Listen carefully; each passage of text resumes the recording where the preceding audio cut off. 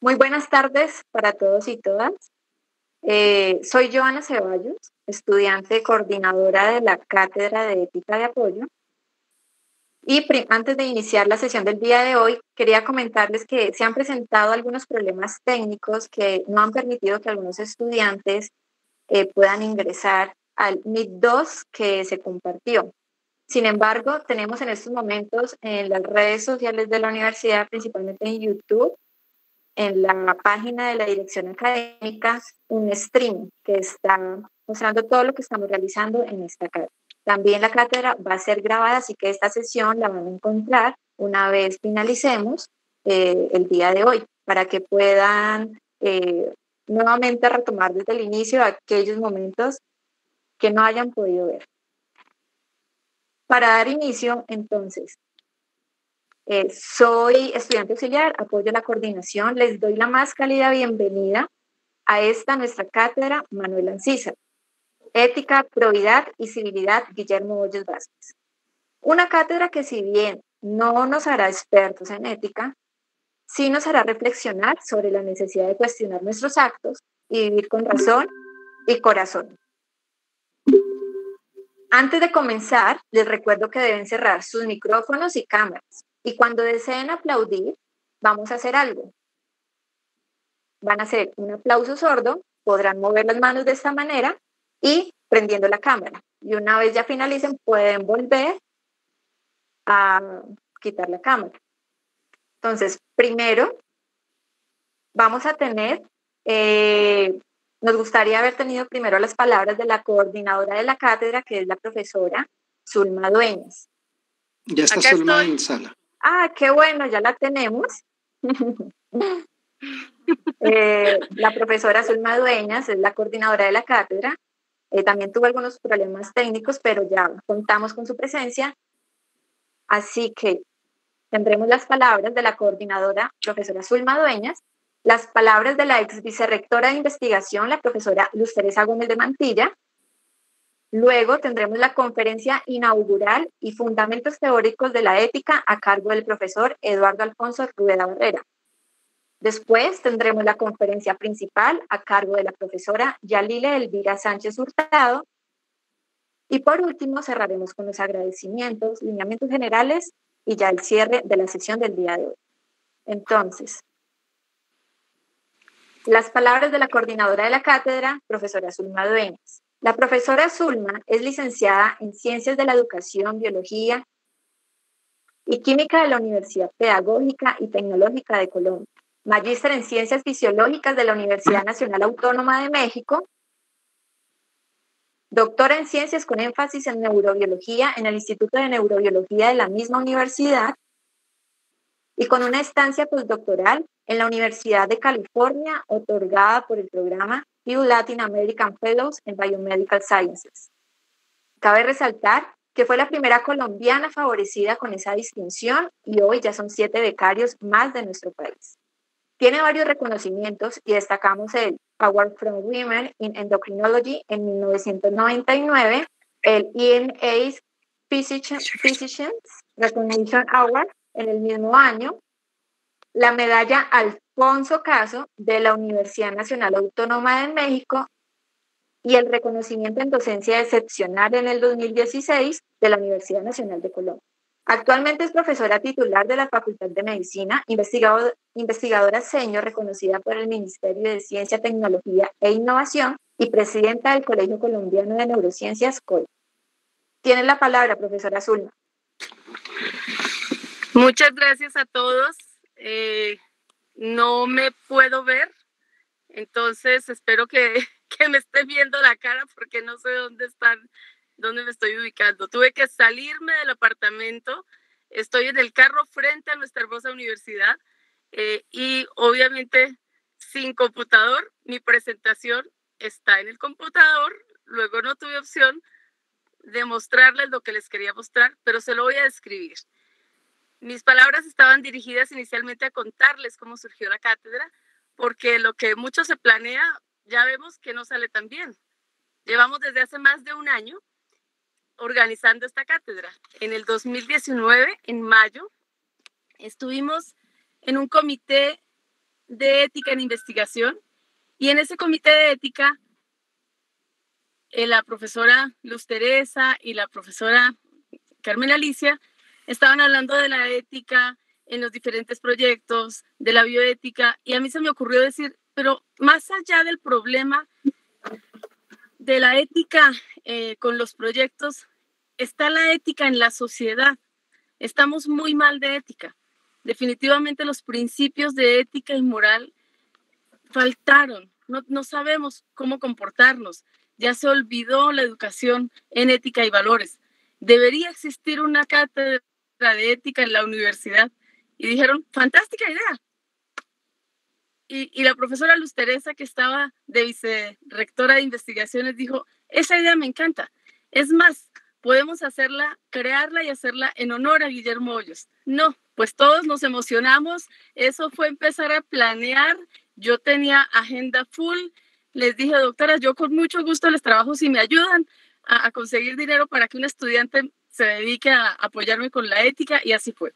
Consiguieron para que esta chica, Joana, que es nuestra maestra de ceremonias, estuviera los cuatro meses ayudándonos y yo le decía, yo quiero una cátedra transversal, una cátedra que nos sirva a todos y que no nos haga especialistas en ética, porque no necesitamos ser especialistas para vivir la ética, para sentir la ética, para usar la razón y el corazón para nuestro comportamiento, identificar exactamente qué es lo que debemos hacer y cuando hacemos las cosas bien, fluye. Y eso es lo que necesitamos en nuestro país. Jóvenes con ética que cambien esta sociedad. En mi primer diapositiva, yo les mostraba la imagen justamente de la cátedra que tiene de un lado a, Miguel, al doctor Guillermo Hoyos y el otro a Manuel Ancísar. Y cuando yo le dije al diseñador, yo quiero eso y quiero corazones y cerebros, porque la ética eh, es razón y es corazón. Y Mauricio, que fue el diseñador que trabaja en, en la dirección de sede, me interpretó perfectamente porque me hizo los corazoncitos con los cerebritos de la mano, la imagen de Guillermo Hoyos y la imagen de Manuel Ancísar. Y luego le digo yo, bueno, con, con Joana estábamos analizando, falta algo, falta algo. Le dije, no, ya sé qué falta. Póngale a cada uno un símbolo de una de las, una, algo que reconozca cada una de las profesiones, de tal forma que se vea transversal la enseñanza de la ética. Y así fue y me interpretó perfectamente y gracias a eso, pues esa es nuestra imagen de la cátedra. La siguiente imagen que les iba a mostrar era el león de Grave vacío, absolutamente vacío, con todas las sillas y la imagen que tiene, porque así está león, no solo porque está en reparación, sino porque eh, estamos fuera de la universidad. Y lo que yo quería era incentivarlos a que en esta cátedra, los que están inscritos, se tomen una foto para que al final, una foto en donde están tomando la cátedra, porque el león está vacío, pero ustedes en sus casas lo están llenando. No fueron al León a tomar la cátedra, la cátedra fue a sus casas. Y eso es maravilloso. Es maravilloso porque en la siguiente diapositiva les iba a mostrar cómo una campaña de Somos Campus. Y ahora nos damos cuenta que somos mucho más que campus. Somos tanto más que campus que estamos recibiendo la cátedra en nuestras casas. Y el campus está, el campus nos espera, pero nosotros somos los que hacemos la universidad profesores, administrativos, estudiantes, los celadores que nos ayudan a cuidar las instalaciones, las señoras que hacen aseo para que no se nos llene de polvo todo. Y eso es la universidad. Es la esencia que tenemos nosotros de construir ese conocimiento en la rectitud en la que debemos hacerlo, con responsabilidad, con ética y valores, defendiendo esa cultura que ya está perdiéndose y que nos va ganando la corrupción que nos va ganando, eh, el despilfarro y que ustedes jóvenes tienen en sus manos todo ese poder para volver a convertir a Colombia en un país con ética, con valores, que surja, que progrese, donde la educación sin duda, aunque no la estamos tomando en el campus universitario, construya humanidad, construya sociedad. Y en la siguiente diapositiva les quería mostrar cómo en cada uno de los hogares hay gente que está de los hogares hay, hay, y el hecho de que haya gente con ustedes, de que estén sus papás, de que estén sus hermanos, de que cada uno esté aportando un pedacito, eso es hacer universidad, pero eso además es construir en nosotros país, que es lo que nosotros necesitamos en este momento. Finalmente, les iba a mostrar las personas que durante todo este tiempo nos han colaborado, porque como les digo, llevamos desde mayo del 2019 planeando toda la cátedra de ética. Íbamos a empezar con el himno nacional, que nos encantan las ceremonias, el himno nacional. Íbamos a seguir con nuestro querido himno universitario, porque yo decía, eso nos va a hacer sentir en el león. Eh, y, y no todo lo que se planea con bombos y platillos sale como uno quiere que le salga. Pero en eso está el saber aprovechar la situación y el hacernos resilientes. Y el hecho, el hecho de que en la incertidumbre podamos seguir adelante, bueno, eso lo vamos a hacer. Y en la incertidumbre también podemos entender mucho de los comportamientos de nuestra sociedad. Cuidémonos, cuidémonos y cuidemos al otro. Seamos responsables con nosotros mismos y entendamos que estos valores de ética, de probidad, de civilidad, que en honor a este gran filósofo nos están construyendo, permen nuestros corazones, permen los corazones de sus familias y ustedes jóvenes construyan país es lo que les podemos dejar, es lo que queremos que permanezcan con nosotros.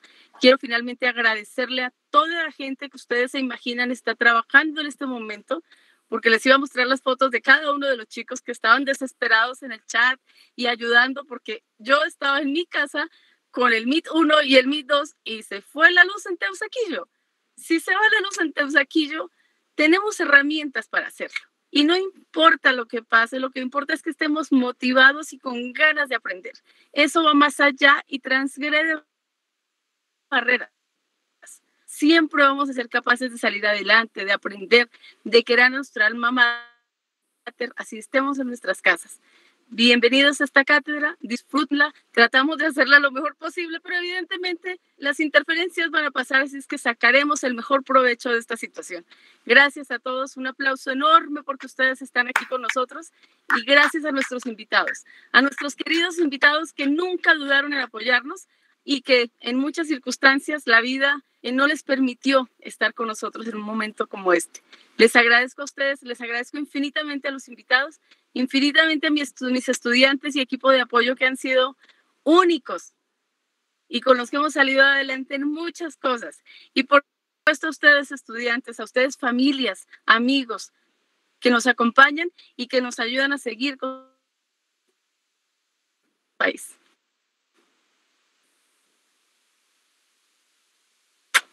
Gracias a ti. Gracias. Muy bello. Muchas gracias, profesora Surma, por esas palabras y creo que esto se trata, la, estas nuevas experiencias que estamos viviendo, anécdotas que vamos a recordar, los que estuvieron detrás de la pantalla y los que estamos aquí también, intentando que todo esto pueda darse. Ahora vamos con las palabras de la ex vicerrectora de investigación. Ella es la profesora Luz Teresa Gómez de Mantilla. La profesora Luz Teresa es socióloga, magíster en filosofía y doctora en arte y arquitectura de la Universidad Nacional de Colombia, sede Bogotá. Profesora titular del Departamento de Sociología y ex vicerrectora de investigación de la Universidad Nacional de Colombia en el periodo 2019. La profesora Luz Teresa también es investigadora senior, reconocida por el Ministerio de Ciencias y Tecnología y tiene múltiples reconocimientos. Destacamos el Premio Nacional de la Excelencia Académica Universidad Nacional de Colombia en el 2012, la Orden Gerardo Molina, Universidad Nacional de Colombia en agosto del 2018 y la distinción docente conmemoración 50 años de la Facultad Ciencias Humanas, Universidad Nacional de Colombia, en el 2016. Actualmente es profesora del Departamento de Sociología y de la Maestría en Historia y Teoría del Arte, la Arquitectura y la Ciudad de la Facultad de Artes. Tiene la palabra profesora Luz Teresa. Adelante. Eh, muchas gracias, Lady Joana. Un saludo especial para todos y todas. Eh, debo señalar que sin ninguna duda es para mí un gusto y un honor estar en la inauguración de esta cátedra, de este sueño, como vamos a ver, eh, convertido en realidad. Es un gusto también para mí rendir homenaje a mi maestro Guillermo Hoyos Vázquez, a su pensamiento, a su palabra, a su compromiso ético con este país y con la Universidad Nacional. Y por supuesto también es un gusto compartir esta tarde con mis colegas, eh, con algunos de ellos hacía tiempos no me veía, eh, con Carmen Alicia, con Eduardo Rueda, con Jairo Carrillo, con Víctor Reyes, mi, compañero de oficina por tantos años. Eh, creo que esta posibilidad de hacer academia remota es una experiencia también inolvidable para nosotros que fuimos eh, profesores de, tiza y tablero y debimos pasar luego a formas más sofisticadas de tablero con marcador y ahora hemos tenido que a la fuerza ponernos en la condición de pensar frente a una pantalla si nuestros estudiantes están conectados en sobre todo espíritu, que es lo más importante. Eh, quiero también especialmente saludar pues a la profesora Zulma Dueñas, eh, mirar su resiliencia y su capacidad de, participación a pesar de las circunstancias tan difíciles de este momento y a todo su equipo, eh, Joana, que ha estado también permanentemente vinculada a los correos, etcétera, etcétera. Y en particular quiero decirles a los y las estudiantes confinados en sus hogares que han comprendido el sentido de la reflexión de esta cátedra y han querido inscribir esta materia porque están convencidos de que los procesos de la academia no son solamente los atados a los libros, sino que están seguramente estratégicamente comprometidos con el quehacer del futuro para contribuir a los procesos de la reconstrucción ética de nuestra nación. Ya en los comienzos, quienes estaban conectados eh, se enteraron que voy a desarrollar eh, tres puntos pedidos de una introducción que voy a empezar a leer. El título general de la reflexión siguiente, Guillermo Hoyos Vázquez, dos puntos, o del intelectual ético, el ciudadano democrático y el humanista integral. Punto cero, el contexto. Rigurosos estudios recientes de la CEPAL, para quienes no saben qué es la CEPAL, es la Comisión de Estudios Económicos para América Latina, un organismo de mucho prestigio que hace los estudios sobre los procesos económicos de la región desde hace mucho tiempo. Rigurosos estudios de la CEPAL dan cuenta del drama de las naciones de América Latina, periféricas, atrasadas, son esquilmadas en, en sus recursos por procesos de corrupción que parecen acrecentarse incluso en las circunstancias de crisis extrema como la que actualmente atravesamos. Según estos estudios, y ustedes pueden entrar directamente a, las páginas de la CEPAL y encontrar decenas de artículos sobre la corrupción, según estos estudios,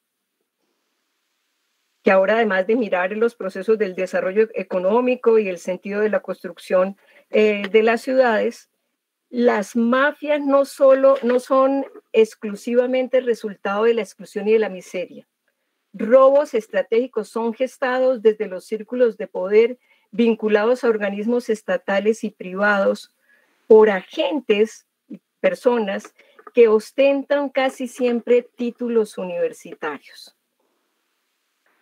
Surge entonces la pregunta de si en sus procesos de formación técnica, exitosos por lo demás, por lo que puede verse si ocupan un cargo público, por ejemplo, se eximieron de formar axiológicamente. La axiología tiene que ver con valores. Si se eximieron en esos procesos de formación las instituciones en las que estudiaron, de forma, además de, de instruirlos, en formarlos axiológicamente para inscribir la disciplina o la profesión en el ámbito de la responsabilidad colectiva. Estos estudios que son sustentados con datos consistentes y con argumentos sustanciosos para la verosimilitud, dan cuenta de sus, en sus narrativas de un fenómeno que se acrecienta. Un análisis más profundo, que es el que correspondería hacer a la academia, debería, a mi modo de deber no dejar pasar por alto dos elementos. E intento pensar qué diría Guillermo Hoyos de esto. En primer lugar, estaría la necesidad de visibilizar lo que sería un pacto tácito que signa culturalmente el sentido de lo público para respetar como sagrado el recurso que es de todos, que es construido colectivamente ese recurso y que no puede ser esquilmado o minado por, eh, en, en, el sentido de que es ese pacto colectivo, es una fuerza cohesionadora. Lo que se mira en la época contemporánea es que ese pacto colectivo se ha debilitado porque ha desaparecido del inconsciente colectivo público. Entonces, entre nosotros lo que encontramos que cuando se habla de lo público y la definición de lo público es que lo público es lo inoperante, lo ineficaz, es el desgreño. Es decir, que además ha e incluso en algunos casos ha desaparecido de lo público. Busquen ustedes en los discursos eh, presidenciales o en los discursos eh, institucionales dónde aparece ese sentido de lo público. Incluso yo me he tomado el trabajo de ver cómo incluso ha desaparecido de los discursos de las universidades estatales en una suerte de epistemicidio, o sea, de matar a, la episteme, matar a los conceptos, de matar hasta en lo, en lo público, en, eh, en lo teórico a lo público. Y, cómo este tipo de corrientes son aceptadas por la mayoría. Es decir, que a pesar de que está refundido lo público, además dejamos eh, escrimarlo en la parte práctica, también en los bolsillos de los aprovechados. Ese sería un primer elemento. Ha desaparecido de nuestra sociedad el aspecto de lo público y del pacto colectivo que nos sustenta como nación. El segundo aspecto es el de confiar en que la construcción cumple con la instrucción una posibilidad pedagógica, además de la formación en una particular disciplina o profesión. Es la pregunta de si la formación permite la creación de autoconciencia y el que los jóvenes que se forman en las universidades pueden, puedan llegar a un proceso de lo que los alemanes llaman la Bildung, es decir, aquella condición en que cada quien se reconoce a sí mismo como gestor de su propio desarrollo, es capaz de autoconstruirse como sujeto de derechos, como sujeto de autonomía, como mayor de edad, y es capaz de establecer también no solamente los aspectos del interés individual, sino la condición de los propósitos colectivos. Pareciera que en esta época eh, la formación universitaria cumple meramente un papel de asignación de virtudes que son asignadas por el reconocimiento de una serie de documentos públicos, los diplomas, en las que cada una de esas titulaciones plantea una posibilidad de prestigio como si de castas medievales se tratara. Pero la pregunta entonces es, en, eso, en ese doble ámbito de la pérdida del sentido de lo colectivo y en la pérdida del sentido de la reflexión universitaria como axiología, como valores y como construcción autopoética personal, ¿qué pasaría entonces con el sentido de la universidad? y con lo que podría hacerse de una universidad como la Universidad Nacional. Estos dos ámbitos, entre otros de importancia estratégica que ustedes abordarán a lo largo del curso, llevó al Comité Nacional de Ética de la Universidad Nacional en el año 2019, convocado desde la Vicerrectoría de Investigación y la Secretaría General, a acoger la propuesta entusiasta e interesante de la profesora Zulma Dueñas de gestar un espacio permanente en la universidad de carácter académico para la reflexión, discusión y la formación del conjunto de nuestros estudiantes. Ya Zulma contaba esa eh, experiencia de, la emoción que, como se fue gestando hace justamente un año esto. Oficio entonces este ritual como testigo del proceso surtido, como delegataria de la tarea impuesta por el máximo organismo colegiado de la universidad en materia de ética eso no fue decidido ni por una vicerrectora ni por un profesor, sino que el, organismo del Comité Nacional de Ética de la universidad propuso, eh, acogió con entusiasmo la propuesta de la profesora Zulma para hacer realidad esto que nosotros estamos celebrando el día de hoy. También lo hago, es decir, lo hago como, hago la inauguración como delegataria de ese comité. También lo hago como alumna del profesor Guillermo Hoyos en la maestría de filosofía entre los años 1983 y 85. Así hacemos cuentas hace 37 largos años. Y también como la vicedecana académica que fui en, en su momento de la Facultad de Ciencias Humanas en el periodo definitorio para la facultad en la que el profesor Hoyos sentó como decano una impronta para el fortalecimiento de las ciencias sociales y humanas en el ámbito universitario, para la articulación de las funciones misionales y en especial para la integración universitaria de estos saberes gestados en el espacio público, para el estudio privilegiado de los problemas nacionales y su transformación. Es entonces muy grato confirmar que la idea de la Cátedra de Ética de la Universidad Nacional de Colombia se instala hoy como hecho real y simbólico, un hecho real y simbólico de la mayor importancia y trascendencia que quiere contrarrestar con los 300 estudiantes, con las y los 300 estudiantes vinculados, con los profesores que van a participar, con la intención de hacer este tipo de reflexiones en la universidad, quiere contrarrestar cualitativamente los datos cuantitativos, las cifras escalofriantes que han sucedido en los tiempos recientes, incluso en el periodo de pandemia, en estos 175 días contados uno tras otro y hora tras hora del confinamiento, en que las noticias aisladas han mostrado que nuestro país no se repone de la guerra, que sigue convaleciente por 200 años que se resiste ese tánatos que nos ha sido asignado a desaparecer. ¿Cómo es posible que hayan desaparecido ya, que hayan sido asesinados, mejor, 147 de los firmantes del acuerdo de paz? ¿Cómo es posible que se hayan hecho 69 masacres en el país?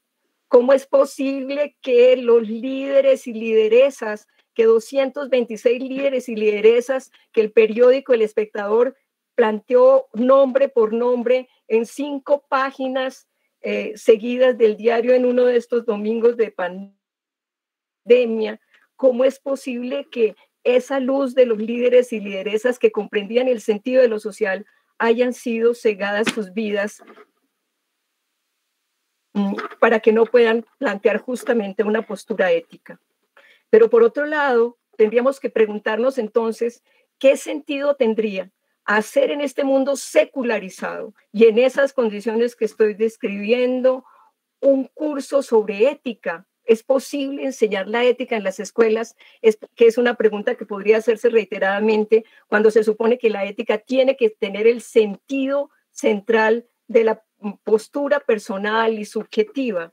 ¿Qué es lo que está colectivo en esa pregunta. En la universidad pública es más en la universidad pública más importante de Colombia celebrar estos rituales de pensamiento, de discusión, de crítica, de palabra como espacio colectivo es una forma de exorcizar la anomia y la muerte, porque surgen las preguntas y, las condiciones que ya desde hace más de 50 años se hacía el profesor Guillermo Hoyos. Y entro con sus palabras a este punto de cómo pensar un intelectual ético desde la razón práctica. Han estado ustedes mirando allí lo que decía Guillermo Hoyos.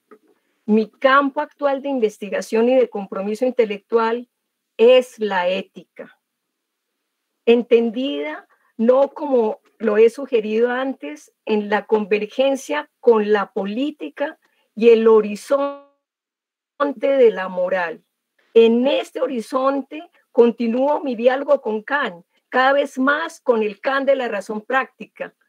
Quienes no lo saben, quienes están vinculando por primera vez a, este proceso, se preguntarán por qué llaman esa cátedra al profesor Guillermo Hoyos y llegarán a saber que pues fue un filósofo muy importante de este país un filósofo muy importante de la Universidad Nacional, y había podido quedarse en la crítica de la razón pura de Kant. Y yo podría decir aquí, aquí tengo justamente eh, la crítica de la razón pura, pura de Kant en uno de los, de los textos y los libros que tengo acá. Podría haberse quedado en esa discusión especulativa sobre cómo se produce el conocimiento humano, si con la certeza sensible, la percepción, el entendimiento y la razón.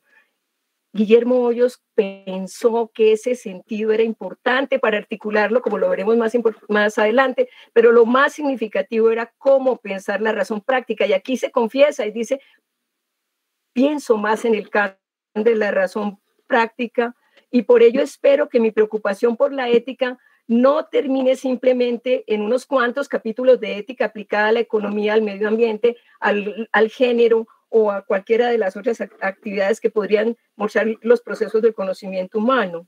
Esos campos, dice Guillermo, son importantes en el mundo actual y sigo con, pero sigo convencido de que el asunto de la reconstrucción genética de la ética como un todo en el que el comportamiento, la convivencia, el compromiso humano ganan su sentido que prima sobre los aspectos de la ética aplicada.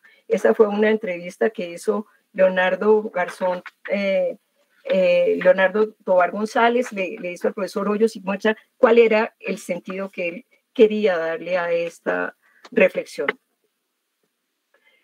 Guillermo Hoyos se formó sistemáticamente en la filosofía clásica y optó por comprender profundamente las posturas de Husserl con su fenomenología y también de Habermas, su maestro, con su teoría crítica la que estructuró la teoría de la acción comunicativa, aspectos todos ellos que manejaba el profesor Hoyos con una gran solvencia en el sentido de sus clases en el pregrado y el, y el posgrado.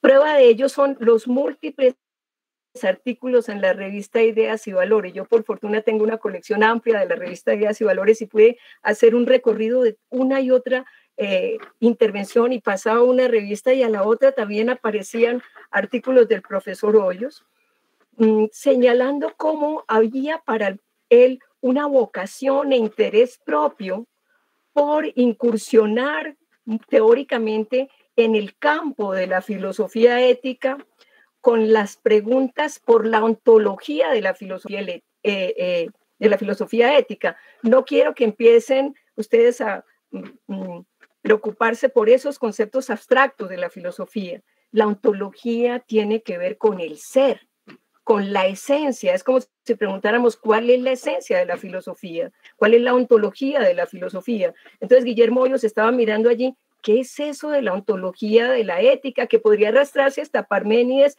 pasando prácticamente por todos los teóricos de la filosofía?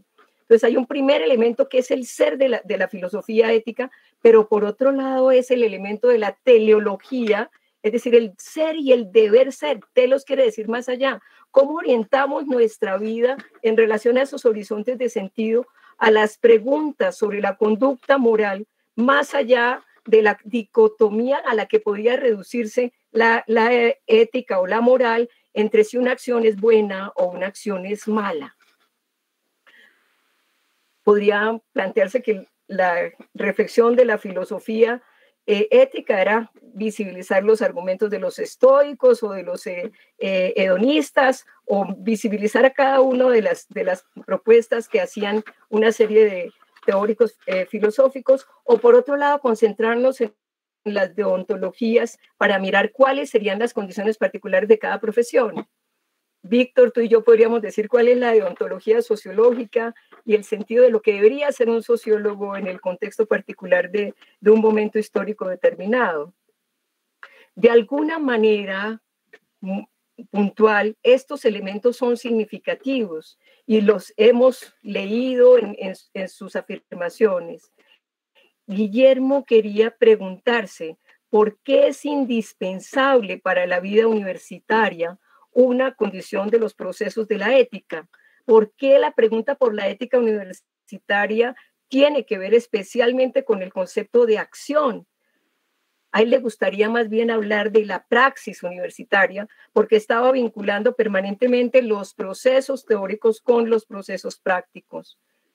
Él se preguntaba también por qué la universidad tenía un compromiso público y cómo debía abrir el amplio espectro del conocimiento que trascendía los elementos doxáticos de la apariencia y del lenguaje común sin desconocerlos. Se supone que la universidad hace un discurso científico, un discurso elaborado, un discurso sistemático, y entonces no tiene que tener en cuenta lo que piensan los ciudadanos que van en Transmilenio preocupados si van a contagiarse de coronavirus. ¿Qué están pensando las personas que han perdido su trabajo y que han llevado a, la condición colombiana un 20% de, de, desempleo en estos cinco meses que han pasado? ¿Qué dicen esas personas? ¿Y qué tiene que decir el pensamiento epistémico más sofisticado de la filosofía sobre ese conocimiento común?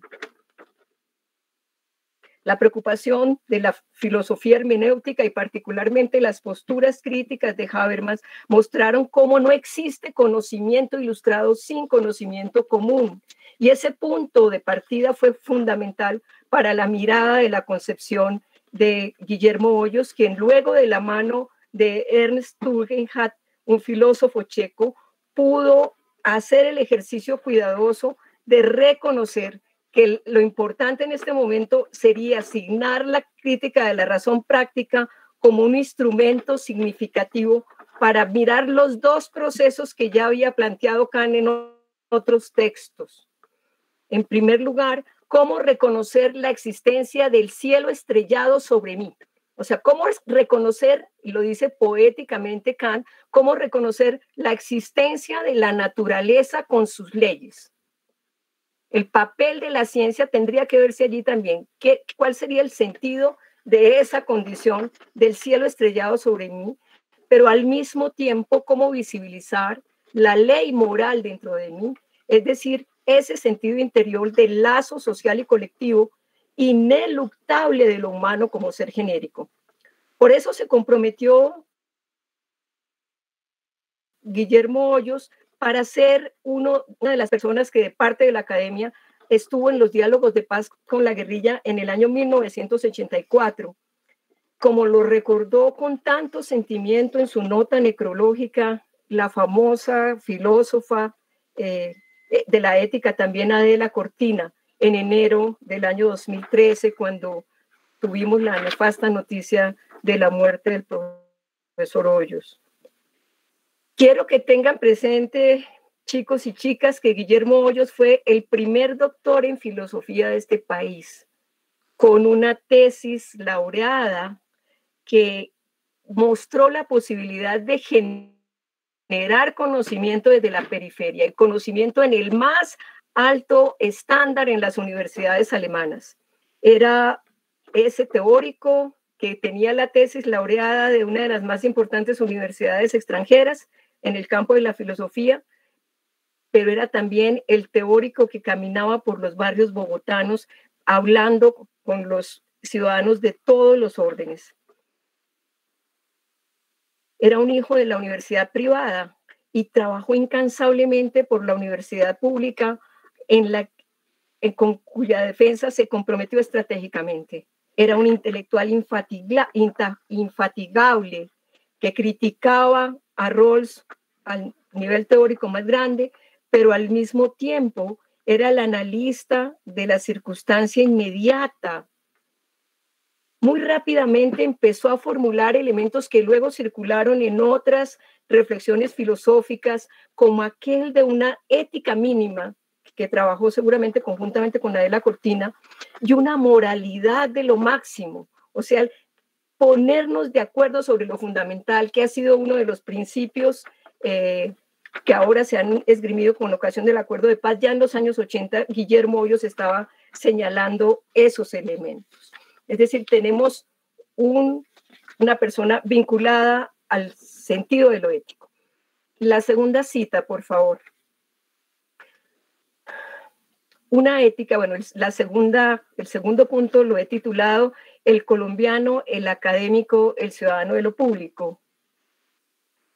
Una ética para ciudadanos es parte de una filosofía que recuye un saber práctico, cotidiano e intuitivo, como el de los habitantes de la ciudad, y que por su afinidad con el sentido común se relaciona íntimamente con la totalidad del mundo de la experiencia que nos es familiar. O sea, retoma los elementos que ya estamos planteando aquí del sentido de una ontología de lo público. Y aquí voy a entrar a, a contar algunas anécdotas de la vida práctica en la Facultad de Ciencias Humanas que darían cuenta efectivamente de que el sentido común y el trabajo colectivo diario eran imprescindibles. Podríamos decir que Guillermo Hoyos articuló en su discurso teórico, siguiendo a Habermas, dos conceptos que ustedes van seguramente a oír a lo largo de toda esta reflexión. El del mundo de la vida, el del mundo práctico, el del mundo de todos los días cuando nos levantamos en la angustia de la pandemia o la posibilidad de salir a la calle. Y por otro lado, el concepto de acción comunicativa como un paradigma moral y ético frente a la exacerbación de las tecnologías, frente a la razón instrumental, Guillermo Hoyos practicaba las dotes de un maestro con su ejemplo de vida. Excelente maestro, conmovía con una voz ancestral. Vamos seguramente en la, en la cátedra a escuchar una y otra voz, esa, esa voz ronca y fuerte, seguramente modulada para el sermón de cuando fue jesuita, pero que con, la convicción y sabiduría que la expresaba y con el gesto que emanaba de su cuerpo, era siempre profundamente cálida y alegre. Tenía además, cuando estaba en espacios más íntimos, una contagiosa carcajada y un sentido del humor agudísimo, eh, con palabras ciertas que, digamos, generaba a su alrededor una, eh, un importante proceso de, comunicación. Ejerció una exitosa decanatura a finales de los años 80, en el, del 88 al 90, e hizo visible en la universidad y también en la ciudad el papel de las ciencias sociales y humanas, fortaleciendo las eh, disciplinas en el, el, sentido de que se trataba de formar estudiantes con la más alta rigurosidad, porque la ciencia social es también una ciencia básica. Si hay una ciencia, si hay ciencias que se necesitan en el contexto colombiano son justamente estas ciencias básicas. Y decía que constituyó una comunidad deliberante creando 13 grupos de investigación. Pues hice una larga disertación y me encantó encontrar que todavía conservo las reflexiones de esos grupos y los seminarios que allí se hacían y no les tengo aquí toda la intimidad de quienes estaban eh, en esos grupos, pero en áreas del tiempo solamente mencionaré que estaba el grupo de estudios ambientales, el grupo Mujer y Sociedad, los grupos indígenas Tucano y Huitoto,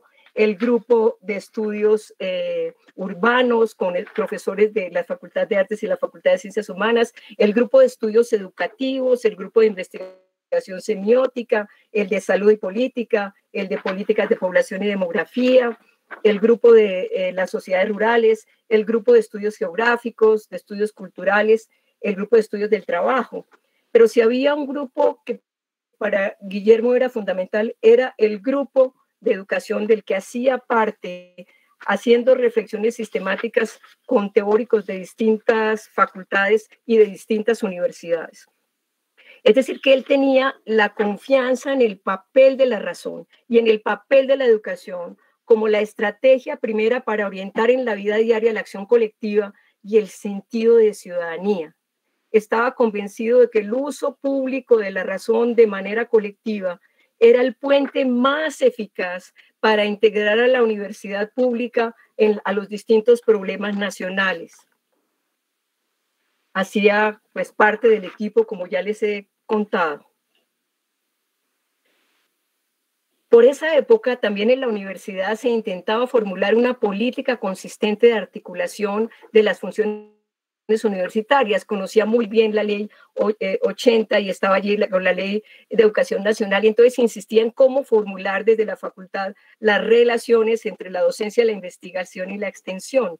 En los debates de esa época era claro que la extensión universitaria lejos de eh, concebirse como se concibe hoy, como un mero eh, instrumento de consecución de autofinanciación de recursos estratégicos para la universidad, estaba concebida como los espacios de integración que gracias a un eh, espacio muy interesante que era el del PRIAC, el Programa Interdisciplinario de Apoyo a la Comunidad, reunía investigadores de las más diversas áreas con sectores sociales.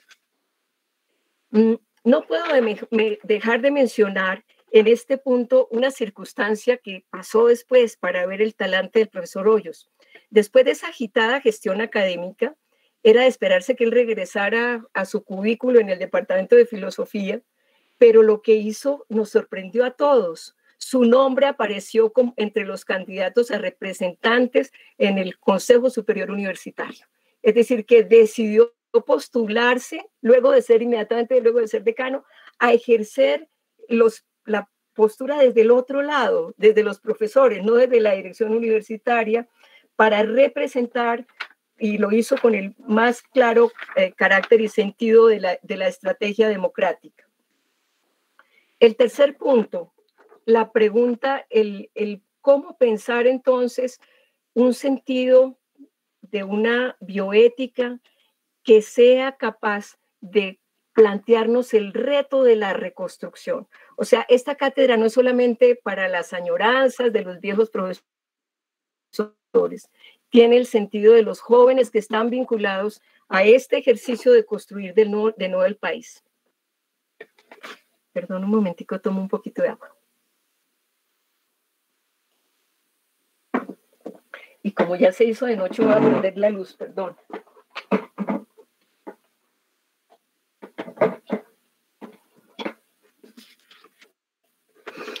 América Latina, territorio fértil y proteico para el mestizaje, ha sido crisol de, de una nefasta alquimia. Élites distantes de la vida nacional, afincadas y defendidas por el Estado, y una sociedad incipiente, empobrecida, dedicada al rebusque y a la supervivencia, con un universo simbólico signado por la reiteración televisiva, terreno abonado también para el crimen organizado, la desconfianza social y los procesos de la eh, corrupción generalizada, como ya lo decíamos arriba. También las preguntas aparecen entonces por las desconfianzas, las impunidades y qué podría decir la universidad en relación a todos estos procesos. Sin embargo, la historia está mostrando una y otra vez también el surgimiento de otras posturas y de otras miradas. El profesor Hoyos presenta allí el sentido de una ética para los ciudadanos, que es aquella filosofía que reconstruye un saber práctico, cotidiano e intuitivo, en el que los habitantes de la ciudad, por su afinidad con el sentido común, es decir, con los hombres del común, se relacionan con la totalidad del mundo de la experiencia que le, es familiar. Decía antes que Guillermo Hoyo se había comprometido con el proceso de generar unos mínimos para que el país compartiera, para volver, decía él, a firmar un nuevo contrato social en el país. Y de eso se estuvo hablando en relación al proceso de paz. ¿Qué podríamos decir entonces de las utopías en la memoria, de los mitos poéticos constitutivos de los pueblos? Decíamos al comienzo de esta intervención que pareciera que el pacto común fue despedazado y roto. Podríamos pensar entonces en si el elemento de la utopía podría tener una condición deleznable en el futuro, diciendo algún día tal vez podamos reconstruirnos como nación. El proceso no es solo del pasado o del futuro. Se trata de mirar el presente con sus indispensables teleologías, con lo que queremos construir colectivamente desde esa vida cotidiana concreta de vínculo con el sentido común, con sus procesos seculares y sus teodiceas seglares, es decir, estos que son términos de la sociología de la religión, mostrarían en la vida cotidiana de cada uno, cómo nos comportamos para poder desarrollar una postura que no nos muestre solo a nosotros en la condición individual, sino cómo podríamos verlo en un sentido más colectivo. Guillermo Hoyos confiaba en el papel de la palabra, del diálogo y de la disertación. Confiaba en los sectores populares con su doxa de la que parece gestarse el conocimiento ilustrado. Confiaba en la posibilidad de que llegáramos en el país a la mayoría de edad.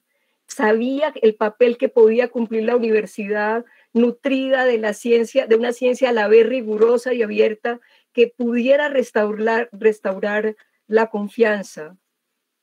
Lo oí hablar, como dije, hace casi cuatro décadas de la importancia de este nuevo pacto social. Nosotros esperamos de verdad con convicción que estas tramas democráticas nuevas puedan gestarse de alguna manera también desde esta cátedra de ética para volver a confiar. Sabemos que es difícil, pero el que 300 jóvenes estén vinculados a la pregunta por el qué hacer y por la ética nos da una forma de confianza y credibilidad que solamente puede surgir desde lo público. Muchas gracias.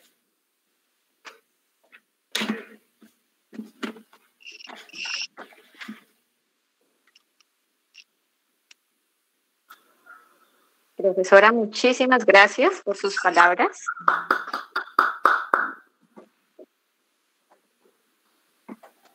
Entonces, en un momento que ya deje de transmitirse la presentación, ahora sí.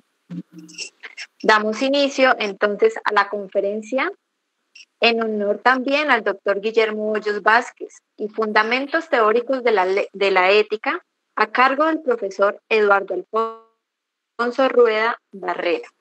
El profesor Alfonso es médico cirujano de la Pontificia Universidad Javeriana especialista en seguridad y prevención de riesgos del Consejo Colombiano de Seguridad y doctor en filosofía, ciencia y tecnología y sociedad de la Universidad del País Vasco. Obtuvo grado summa cum laude y mención como doctor europeo. En el 2010 le fue otorgado por el Instituto Goethe una estancia como Scholar in Residence en el Instituto de Estudios Avanzados en Ciencias Humanas en la Universidad de Duisburg, Alemania. Actualmente es presidente de la Red Latinoamericana y del Caribe de Educación Superior en Bioética, Red LACER, miembro de la Junta Directiva de la Red Latinoamericana y del Caribe de Bioética, Red Bioética UNESCO, cofundador y director ejecutivo de la Red para la Educación Ética y Ciudadanía, Red Ética, coordinador del Grupo de Trabajo Latinoamericano en Filosofía Política, Consejo Latinoamericano de Ciencias Sociales, CLACSO, del 2012 al 2019, e investigador seño reconocido por mi ciencia. En el 2015 fue ganador del premio de investigación Guillermo Hoyos Vázquez, otorgado por CLACSO, por su obra Cultura Política para Forjar la Paz en Colombia,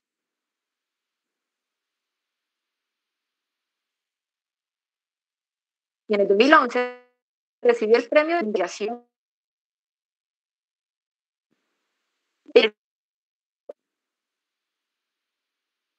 de profesor de en el periodo el profesor para nosotros es un honor esta conferencia en honor al Guillermo Vázquez.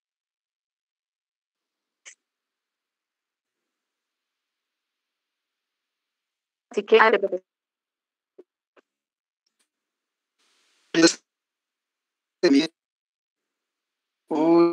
muy especial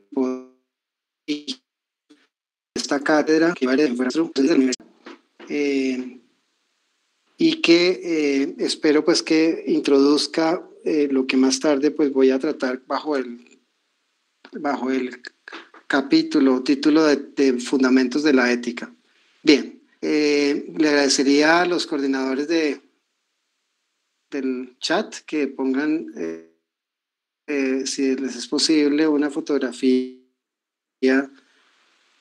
del profesor Hoyos en la pantalla de lectura.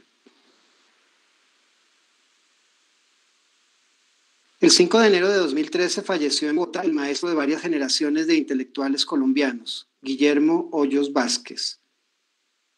Su trabajo como pensador y educador es ampliamente conocido y quienes fuimos sus alumnos esperamos que lo siga siendo en el futuro.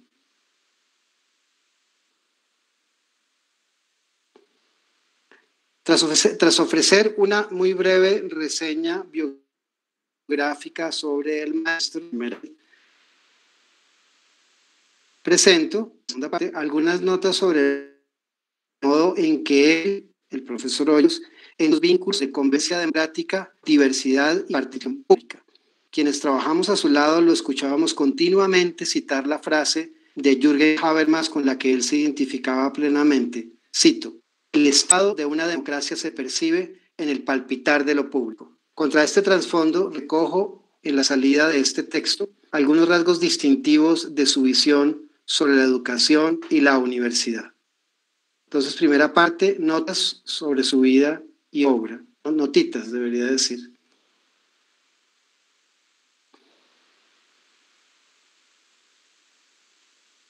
El profesor Guillermo Hoyos Vázquez nació en Medellín en 1935, en el bajo la influencia de los jesuitas.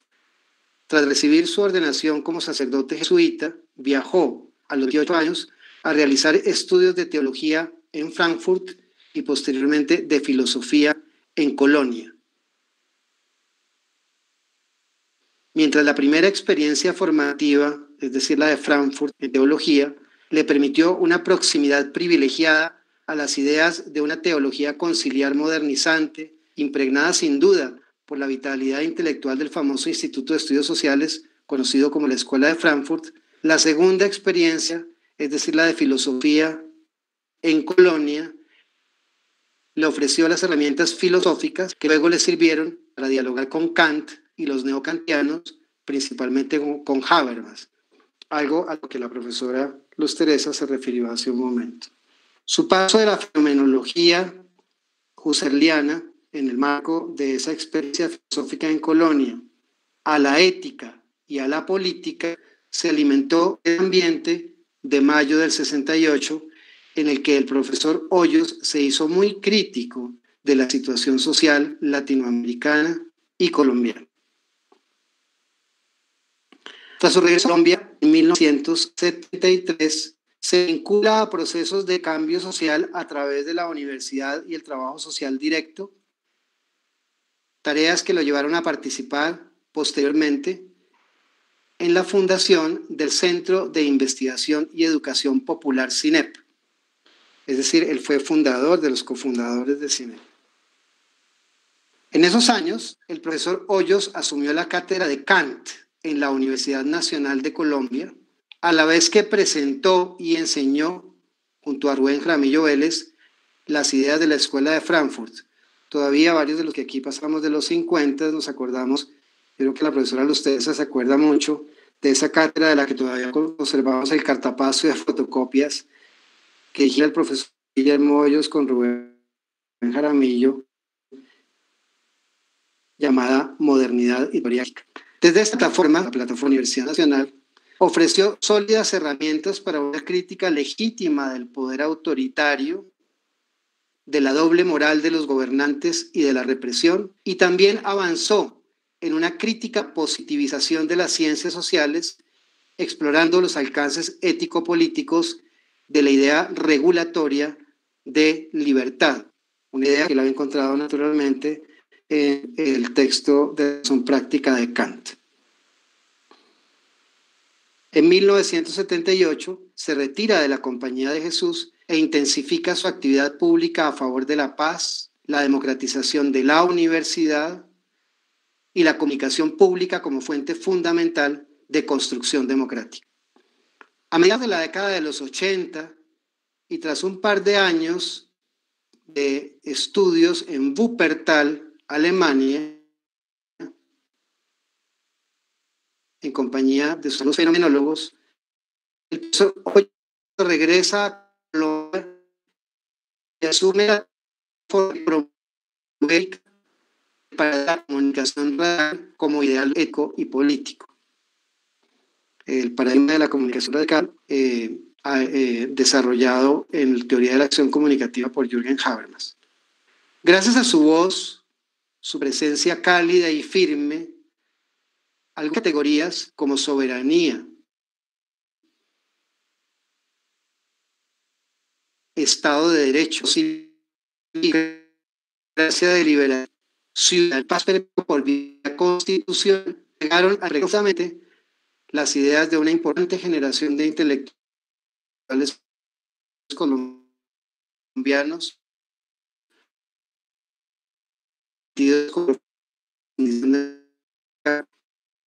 y en América. Con digo la política, el profesor logra un significativo conocimiento nacional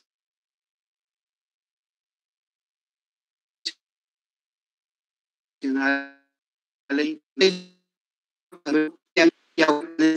en nacionales como la coordinación de la Comisión de Maestrías y Doctorados del CNA, el Consejo Nacional de Acreditación. Además de otras varias que paso por alto por razones de tiempo.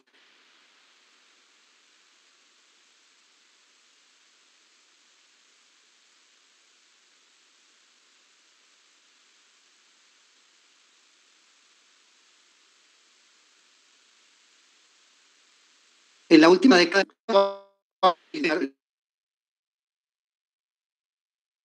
solo digo, allí despliega una social de información de opinión pública a través de eventos que se conocían mucho aquellos años de público, a través de la participación en iniciativas de cambio como el diplomado en gestión comunitaria y gerencia social que se impartió a más de 15.000 gestores culturales de Bogotá o el diplomado en educación para la paz que alcanzó a más de 200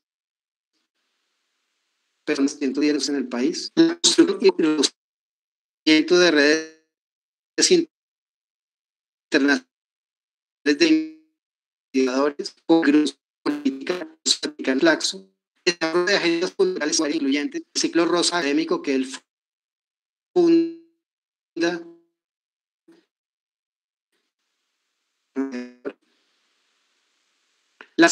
la educación, con organización de y la Secretaría para que desarrollo lo acompañar.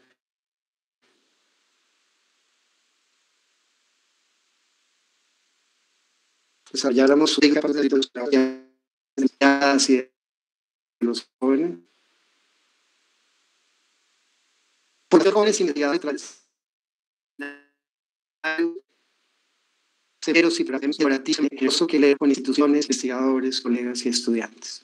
Su testimonio deja a sus discípulos y a las universidades en las que trabajó, como lo hizo ahorita Palmario, Palmario la profesora Luz Teresa, en su voz, en la voz y sentimiento con la que transmitía su mensaje. Dejó, en las que trabajó, digo, deja, deja, su testimonio deja a sus discípulos la responsabilidad ética y política de contribuir a perfilar la paz, profundizar la democracia, radicalizar la inclusión, robustecer la sociedad civil y ampliar las vías de la comunicación pública. Bien, terminado este muy pequeño, mínimo perfil del, del profesor Hoyos para esta tarde, quisiera ahora referirme a la concepción que él tenía sobre la democracia y lo público. En la presentación del libro Justicia y Democracia Consensual, la teoría neocontractualista en John Rawls, del profesor Oscar Mejía, actual profesor de la Facultad de Derecho de la Nacional, el profesor hoy se preguntaba lo siguiente, cito, ¿es posible construir sociedad a partir de una pluralidad de relatos con los que se identifican, según sus diversas concepciones del bien, las personas y los grupos sociales? ¿Es posible que una sociedad sin basarse en ninguna de las concepciones del bien que mantienen estos relatos goce de la estabilidad necesaria para un desarrollo social de la convivencia, el bienestar y la realización de las personas? Hasta ahí la cita. Estas preguntas, que según el profesor Hoyos y otros tantos lectores de Rawls, motivan la obra de este último, o sea, de, John Rawls titulada Liberalismo Político, dan lugar, a su vez, a un fragmento hermoso e inquietante a partir del cual quisiera explorar la manera en que el maestro concebía lo público. Dice, en efecto, él en el mismo libro ya citado, cito, Rawls parte de una actitud de pluralismo razonable que consiste en reconocer no porque toca, ni como un modus vivendi recomendado por Hobbes, por Hobbes, por Thomas Hobbes, ni siquiera como algo tolerable, esta diversidad de opiniones en lo religioso, lo moral y lo filosófico, y por tanto también en lo jurídico y en lo político. Por el contrario, el reconocimiento de la diversidad ha de ser razonable, alegre, diría yo, basado en las razones y motivos que nos llevan a considerar como un bien, no como un mal menor, dicho pluralismo. Es bueno, inclusive para la persona, dice el profesor Hoyos, continúo citando, que haya diversas concepciones del bien y que sea posible corregir la propia, cambiar en un momento dado de dioses y demonios, de cosmovisiones tanto filosóficas como morales y religiosas. Hasta ahí la cita. Sin duda, para quienes tuvimos la fortuna de compartir seminarios, cursos, libros, trabajos con él, con nuestro profesor Hoyos, el párrafo citado es una síntesis no solo de su visión político-moral, sino del modo de ser general de su persona. Recuerdo una reunión del grupo de investigación en filosofía moral y política que él lideró por más de una década, cuando María, Victoria Uribe, conocida antropóloga colombiana, le dijo, lo que es genial de ti, Guillo, que era como le llamaban sus amigos cariñosamente, es que eres alegre, heterogéneo e incluyente. Ciertamente, así era el profesor Hoyos. Así celebraba la diferencia, el pluralismo y la condición de ser sujeto moral de todo ciudadano. En sus seminarios se le escuchaba con frecuencia decir, al menos yo se lo oí muchas veces, es ahí, en la diversidad, donde está lo divertido. Más allá de querer matizar con este gesto anecdótico la coherencia entre la personalidad y el pensamiento de Guillermo Hoyos, Quisiera destacar con un término de la jerga mediana el tono en el que coinciden precisamente el pensamiento, su pensamiento y su modo y su modo de ser. El término es apertura. Apertura a la diferencia, al rostro del otro, frase que él citaba continuamente, distinguiendo el rostro de la cara, a la sensibilidad del otro, a la capacidad de ser moral del otro, a los dioses y demonios del otro, para coincidir, pero más a menudo para disentir, sin que el flujo incesante de posibilidades de reinventar el mundo propio pueda llegar a detenerse. Podemos reinventar, sí, nuestro mundo propio o nuestro mundo común por el contacto con lo diferente. Reinventarnos a través del contacto los dioses y demonios del otro. Reinventarnos siempre que nos puedan convencer, para lo cual el profesor Hoyos consideraba imprescindible la integración social en torno a unos mínimos éticos y políticos. Estos mínimos no deberían, según él, reconocerse como meras sujeciones postconvencionales de las diversas unidades morales de la sociedad o de los distintos puntos de vista sobre el bien de la sociedad. Cuando el profesor Hoyos, en la presentación del ya mencionado libro, indica los caminos de tal integración, de tal integración social en torno a unos mínimos éticos y políticos, es tajante en afirmar que la política deliberativa, que es la que defiende esos mínimos éticos y políticos, es todo menos procedimentalismo. Insiste en que esos mínimos éticos y políticos aseguran un campo de participación desde diversas perspectivas eh, culturales que, eh, y un, campo en el que efectivamente se articulan, se pueden articular luchas políticas, movimientos sociales y desobediencia civil. El espacio público, dice él, cito, se fortalece gracias a la crítica de las ideologías, el debate y la discusión política acerca de temas sustantivos que tienen que ver con los derechos de los grupos diversos que conforman la sociedad. Radical apertura al otro, hasta ahí la cita. La radical apertura al otro en el pensamiento de Guillermo Hoyos explica su fuerte identificación con Jürgen Habermas. Mientras su pensamiento comulga con el de con John Rawls en el pluralismo y en la prioridad moral, política y jurídica que debe reconocerse a los derechos individuales, a los derechos individuales, la equidad y la constitución, es decir, mientras él comulga con Rawls en eso, nunca le resultó muy atractiva la idea rawlsiana según la cual, cito a Rawls, es necesario conservar la discontinuidad, es decir, la separación entre visiones omnicomprensivas del bien, visiones de lo que es bueno, y el contrato social que da origen a la constitución y las leyes. Hasta ahí la cita de Rawls. A él no le gustaba esa segunda parte de Rawls. En una entrevista concedida hace casi 20 años, el profesor Hoyos decía sobre este punto lo siguiente. Si el fuerte de la propuesta rawlsiana son las estructuras, o sea, lo que Rawls llama la estructura básica, el de la propuesta de Habermas, es decir, la estructura institucional de las sociedades democráticas, los tres poderes y cosas de esas, si el fuerte de la propuesta rawlsiana son las estructuras, escribe el profesor Hoyos, dice persona en la entrevista que le hace el profesor Hoyos, el, de la, el fuerte de la propuesta de Habermas es la participación política que da a esas estructuras y las pone en movimiento para que no se queden en meras formas contractuales. Pero si se relacionan dinámicamente las visiones del bien, de la vida, de la moral, de lo que vale la pena, el pluralismo razonable, el pluralismo de esas visiones distintas de la vida, de la moral, de lo que vale la pena en la vida, cómo deberíamos convivir, se va convirtiendo en forma de vida de las comunidades concretas. Y continúa diciendo, la participación política permite superar la mera tolerancia que siempre sigue amenazando con volverse independencia, frivolidad y cinismo. Por eso no le gustaba ese Rawls que marcaba eh, como necesaria la discontinuidad entre visiones del bien y eh, eh, contrato social.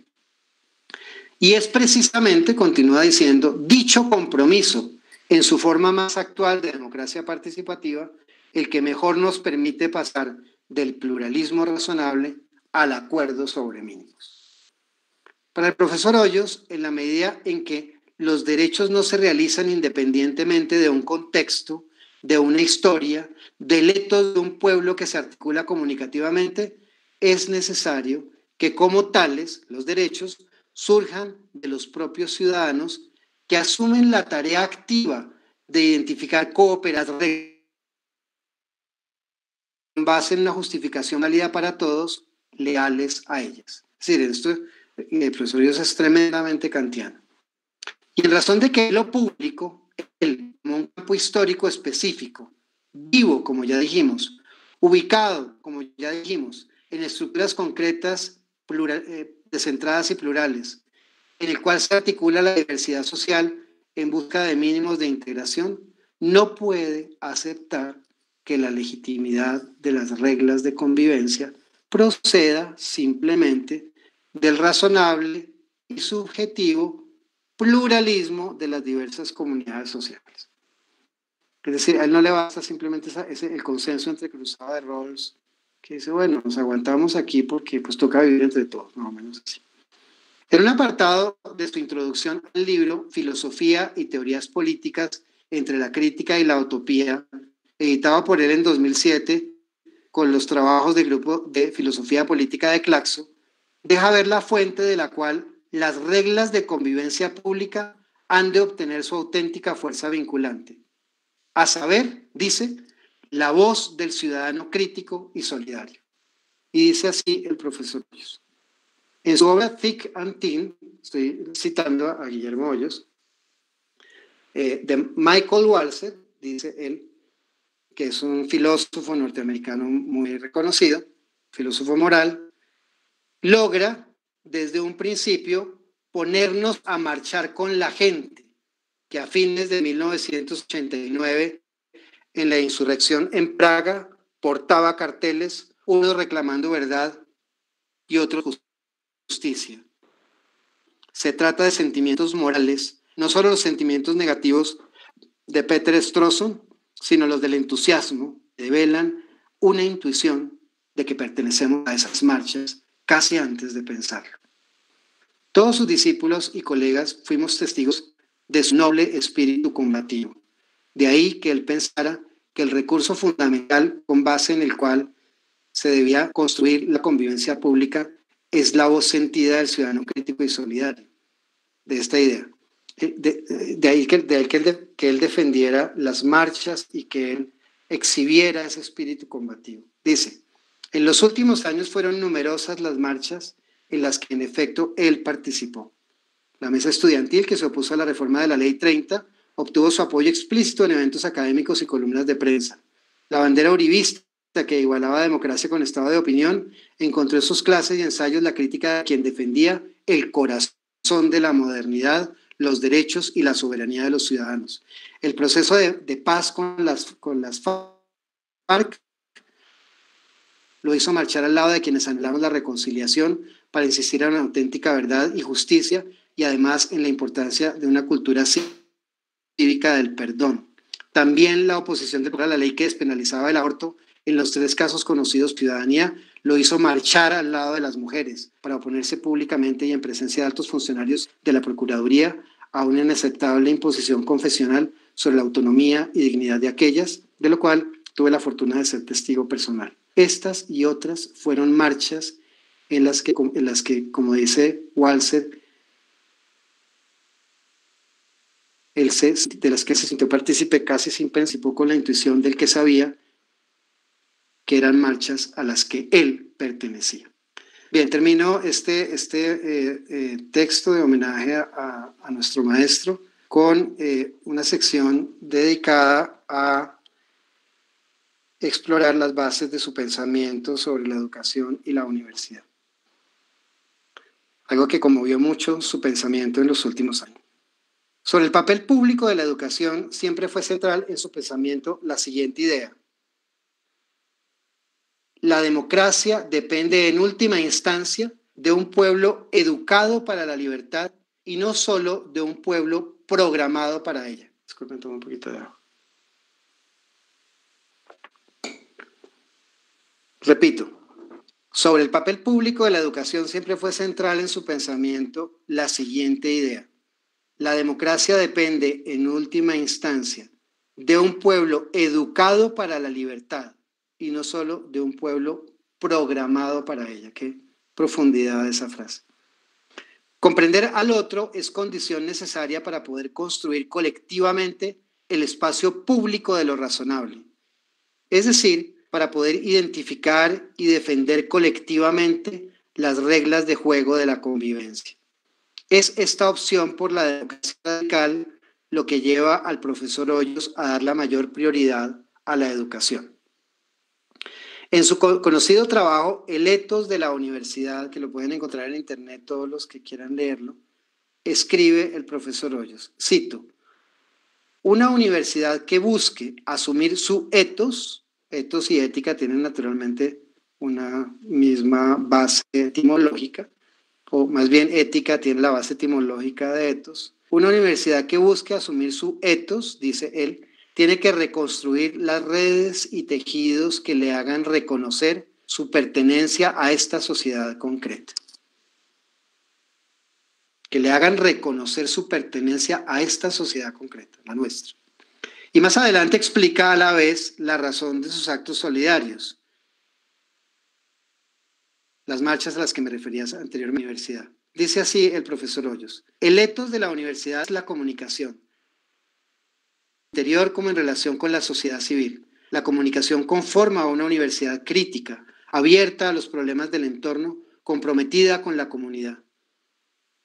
La educación en valores comienza por asumir como valor fundamental de la convivencia el diálogo, que deja de ser mero medio pedagógico, para convertirse en forma de participación y en propedéutica de apropiación de la gramática de lo político. Esta forma de ver la educación superior lo acerca estrechamente al pensamiento de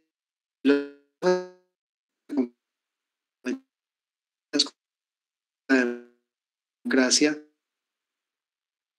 Amy Goodman. A propósito de la, de la educación, un santuario de la no represión y de la no discriminación. También la describe, la describe Goodman como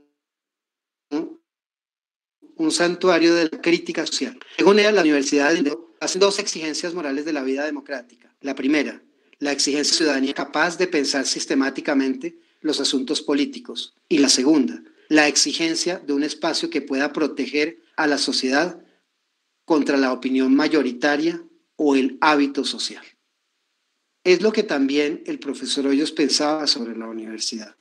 En su artículo Educación para un nuevo humanismo escribe lo siguiente. El nuevo humanismo que estamos buscando es el de la universidad sin condición, en el sentido propuesto por Jacques Derrida en Stanford en abril de 1998 y de nuevo en Frankfurt en el año 2000.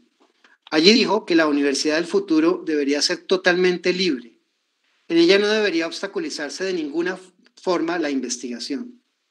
Y enfatizó, de lo que se trata en última instancia en la universidad es de la verdad.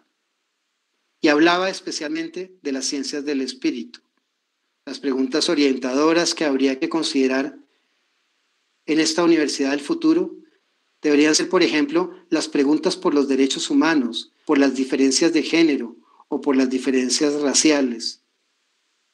En esta universidad hay que trabajar filosóficamente. Se desean análisis de conceptos, pero también se desea resistencia. Una universidad libre es también una universidad sin poder. La universidad se comporta con respecto al poder como un extraño. Finalmente, la verdadera universidad debería ser un lugar donde lo impredecible pudiera volverse acontecimiento. Hasta ahí la cita del profesor Hoyos en su texto sobre humanismo, sobre el nuevo humanismo. Porque la universidad sin condición conmociona críticamente la autoridad. Derrida la ve en los ojos de los pupilos, como escribe. La universidad sin condición, que es una expresión de Derrida, que menciona y cita el profesor Hoyos, es universidad entonces para los ojos, para las pupilas, para permitir nuevas lecturas de las cosas mismas. Como Nussbaum, Derrida o más recientemente Boaventura de Sousa, el profesor Hoyos identifica y combate la amenaza que se cierne sobre esta visión de la universidad como espacio sin condición.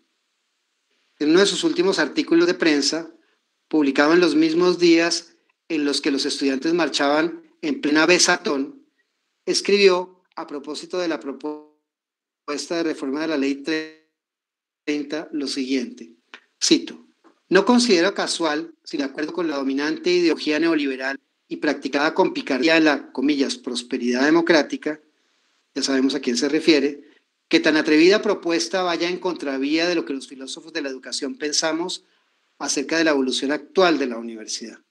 Tanto antes como después de la contrarreforma de Bolonia, donde nació la universidad hace 10 siglos y donde ha comenzado a morir hace 10 años, autores como Paul Ricoeur, Jürgen Habermas, Boaventura de Sousa, Monserrat Galcerán, Jacques Derrida y muchos otros han criticado como un olvido de la idea de universidad en Occidente la orientación mercantilista de la universidad actual.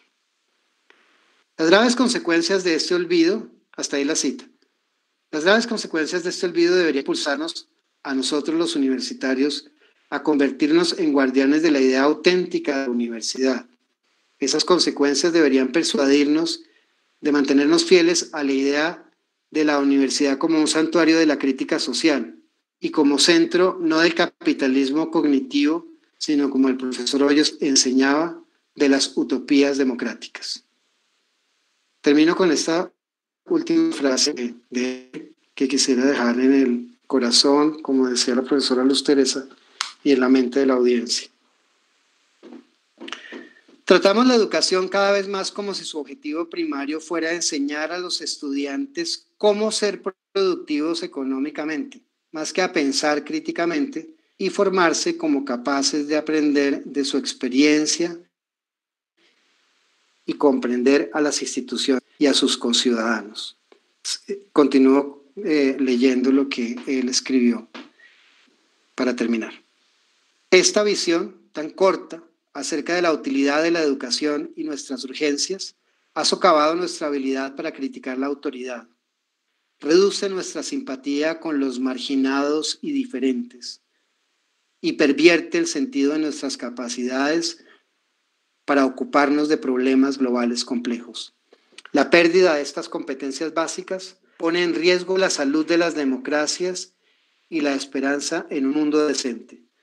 Como respuesta a esta grave situación, Nussbaum, insiste el profesor Hoyos, argumenta que debiéramos resistir a los intentos por reducir la educación a un mero instrumental producto interno bruto, subrayado bruto, en lugar de trabajar para reconectar la educación a las humanidades y darles a los estudiantes la capacidad de ser ciudadanos críticos y creativos de acuerdo con las utopías democráticas. Bueno, muchas gracias.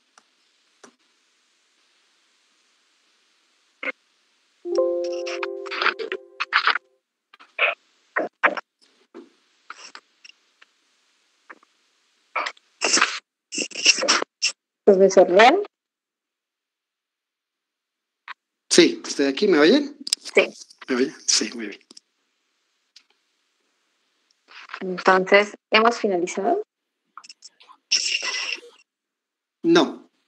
Eh, pero antes, he finalizado. Pero antes de, de finalizar la primera parte, yo quiero hacer un comentario muy particular y muy agradecido porque tanto la doctora Luz Teresa como el doctor Rueda nos han hecho una panorámica y nos han hecho dibujar ese hombre que no conocimos como ustedes conocieron, a ese ciudadano que estuvo de este y del otro lado, del lado administrativo y del lado del estudiante, que estuvo del lado del docente, pero que también estuvo en las luchas fuertes que va a manejar este país, que les enseñó y que sobre todo trascendió.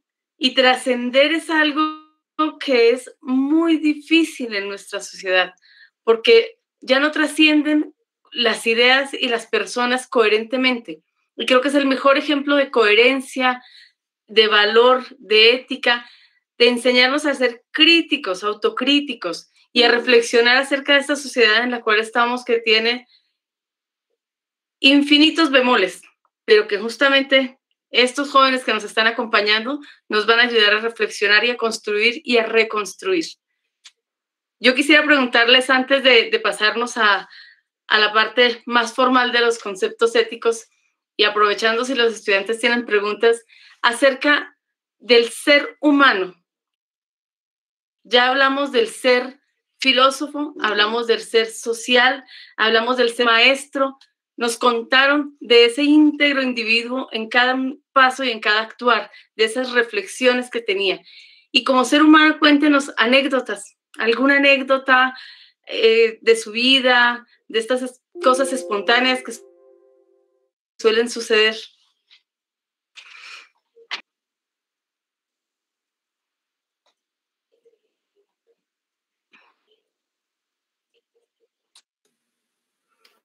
Yo no he hecho sino pensar, escarbando entre los documentos de lo que fueron esos dos años de convivencia en oficinas, vicedecanatura de ciencias humanas.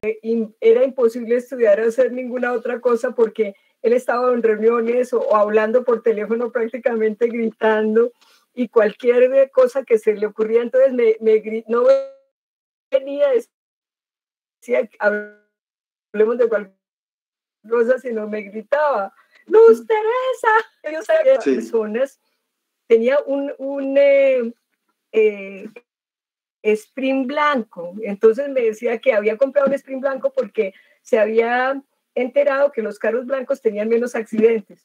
Y a mí me sorprendía cuando salíamos para algún congreso algo que él se abrochaba el cinturón de seguridad.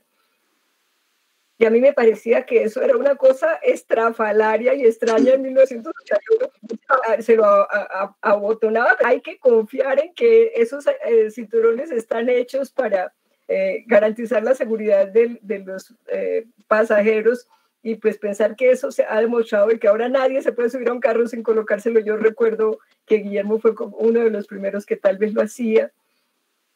Mm, la calidez, yo con, pues, se me quedaron, pues me asusté mucho al final cuando vi que me había extendido bastante, se me quedaron varias anécdotas e historias y reflexiones al final sobre lo que él, podría decir en este momento de todas las cosas que están pasando, sobre los, esa mirada cronológica y con, con la profundidad filosófica de los elementos esenciales.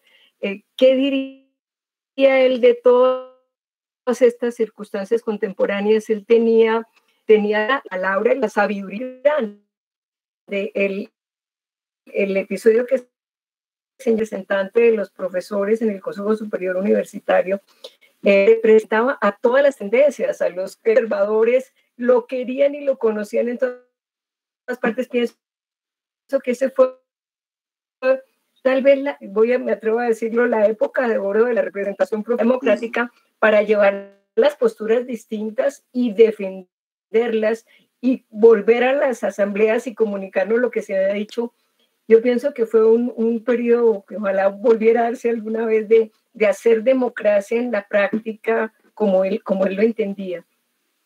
Eh, sus carcajadas eh, en los, a veces en los momentos más eh, difíciles y su agudeza para analizar psicológicamente a las personas eran,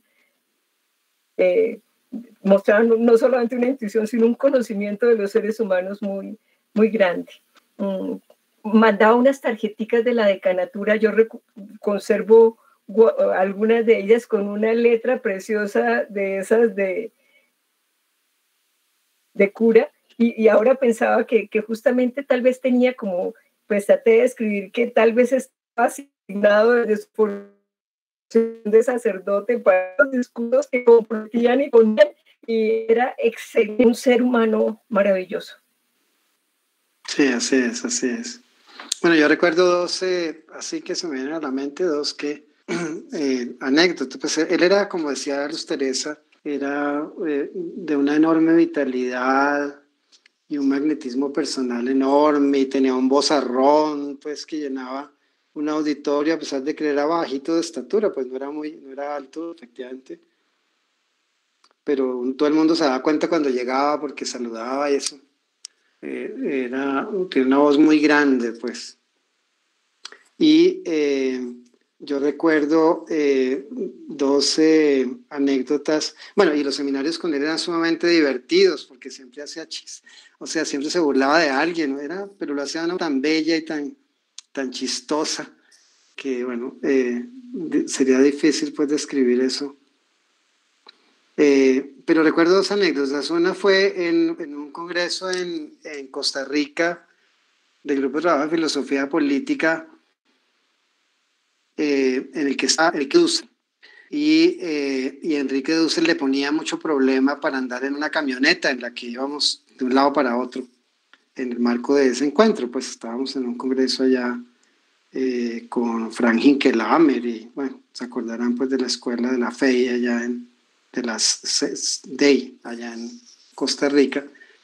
Y, y bueno, y el profesor Hoyos se, se, se, reía y se burlaba permanentemente de Dussel delante de todos. Y Dussel era como un niño, pues,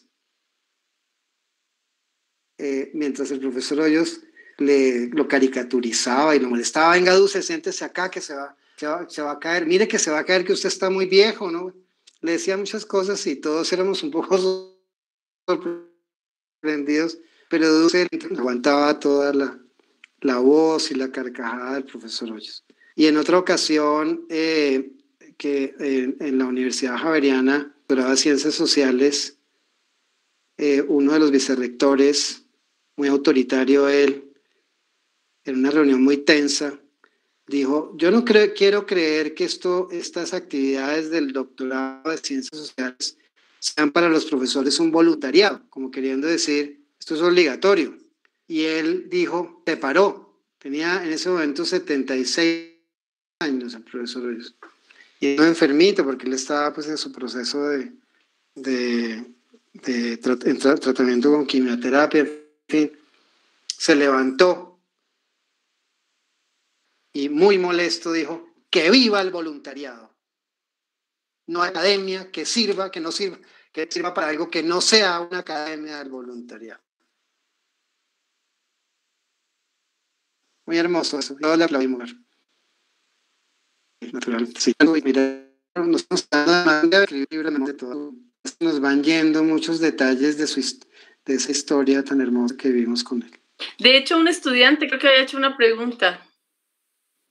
No sé si usted la, la respondió de un libro, preguntaba algo yo leí un poquito en el chat que él preguntaba que se había un libro que resumiera la vida de...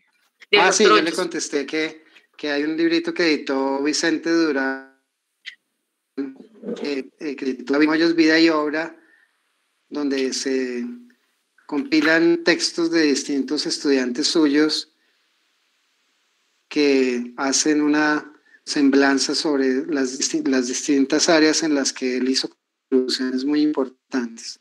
Yo tengo libro en, en, ¿cómo se llama?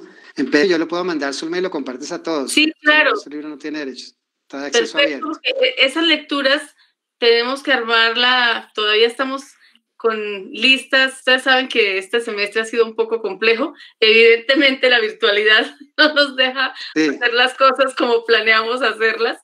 Eh, sí, y las, las, las aulas de Moodle todavía no están actualizadas, entonces por eso no, les pedimos las lecturas con anticipación porque dijimos, no, las van a tener ahí todos. Entonces esperamos ya tenerlas. Sí, yo, yo, yo, lo tengo en la versión de PDF, yo te lo mando para que lo compartas a todos porque eh, la que se encuentra en línea está cerrada, efectivamente es un ebook de editorial.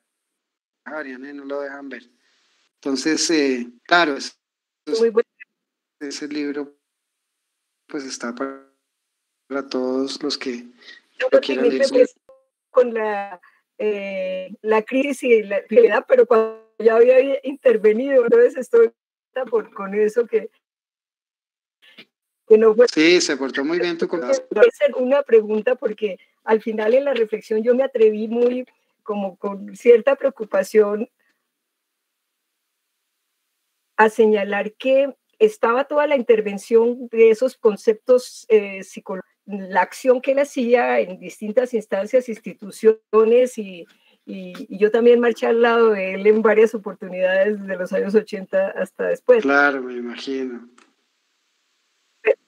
Pero mm, uno diría que hay una forma de presencia eh, de esas discusiones que se daban en la, en la, maestría de filosofía que se hicieron práctica en uno de sus alumnos con la, la política de cultura ciudadana de su alumno Antanas Mocos que a pesar de todas las eh, controversias y posturas que pueda tener en los debates políticos, a mí me parece que eh, incluso eh, Antanas trajo a Rolls, recordarás, y se hicieron todas esas discusiones allí para, la, para alcaldía. Sí, trajo, John Elster, ¿se acuerdan? estuve con, yo también estuve en ese encuentro allá en la alcaldía con Elster. Pero entonces, la posibilidad de que siga actuando esa reflexión en sus, en sus alumnos e incluso eh, veía ahora en alguna de las intervenciones de la alcaldesa el retomar las propuestas de cultura ciudadana. Sería muy interesante visibilizar esos, desde la universidad esa postura tan consistente de, de, la fila de, de Guillermo Hoyo. Sería como también una parte de esta cátedra circular, esos procesos que pueden hacerse reales en la vida cotidiana de la gente, en las ciudades, en, las, en, los procesos tan dolorosos que estamos viviendo, en las nuevas formas de, de expresión de la sociedad civil que, que dificultades de, yo, yo porque recordaba algunos debates que hacíamos allá en entonces quiso mucho con Antanas y en todos los planteamientos de Antanas resuena pues la idea de cultura política y de convivencia democrática que el profesor Hoyos tanto defendió y, tanto inspiró. Y recuerdo a propósito de lo que dice Luz Teresa, a propósito de las anécdotas, una que él me contó una vez, no la vi, él me contó, de una vez fue al aeropuerto, en el aeropuerto, me la contó realmente Patricia, su esposa.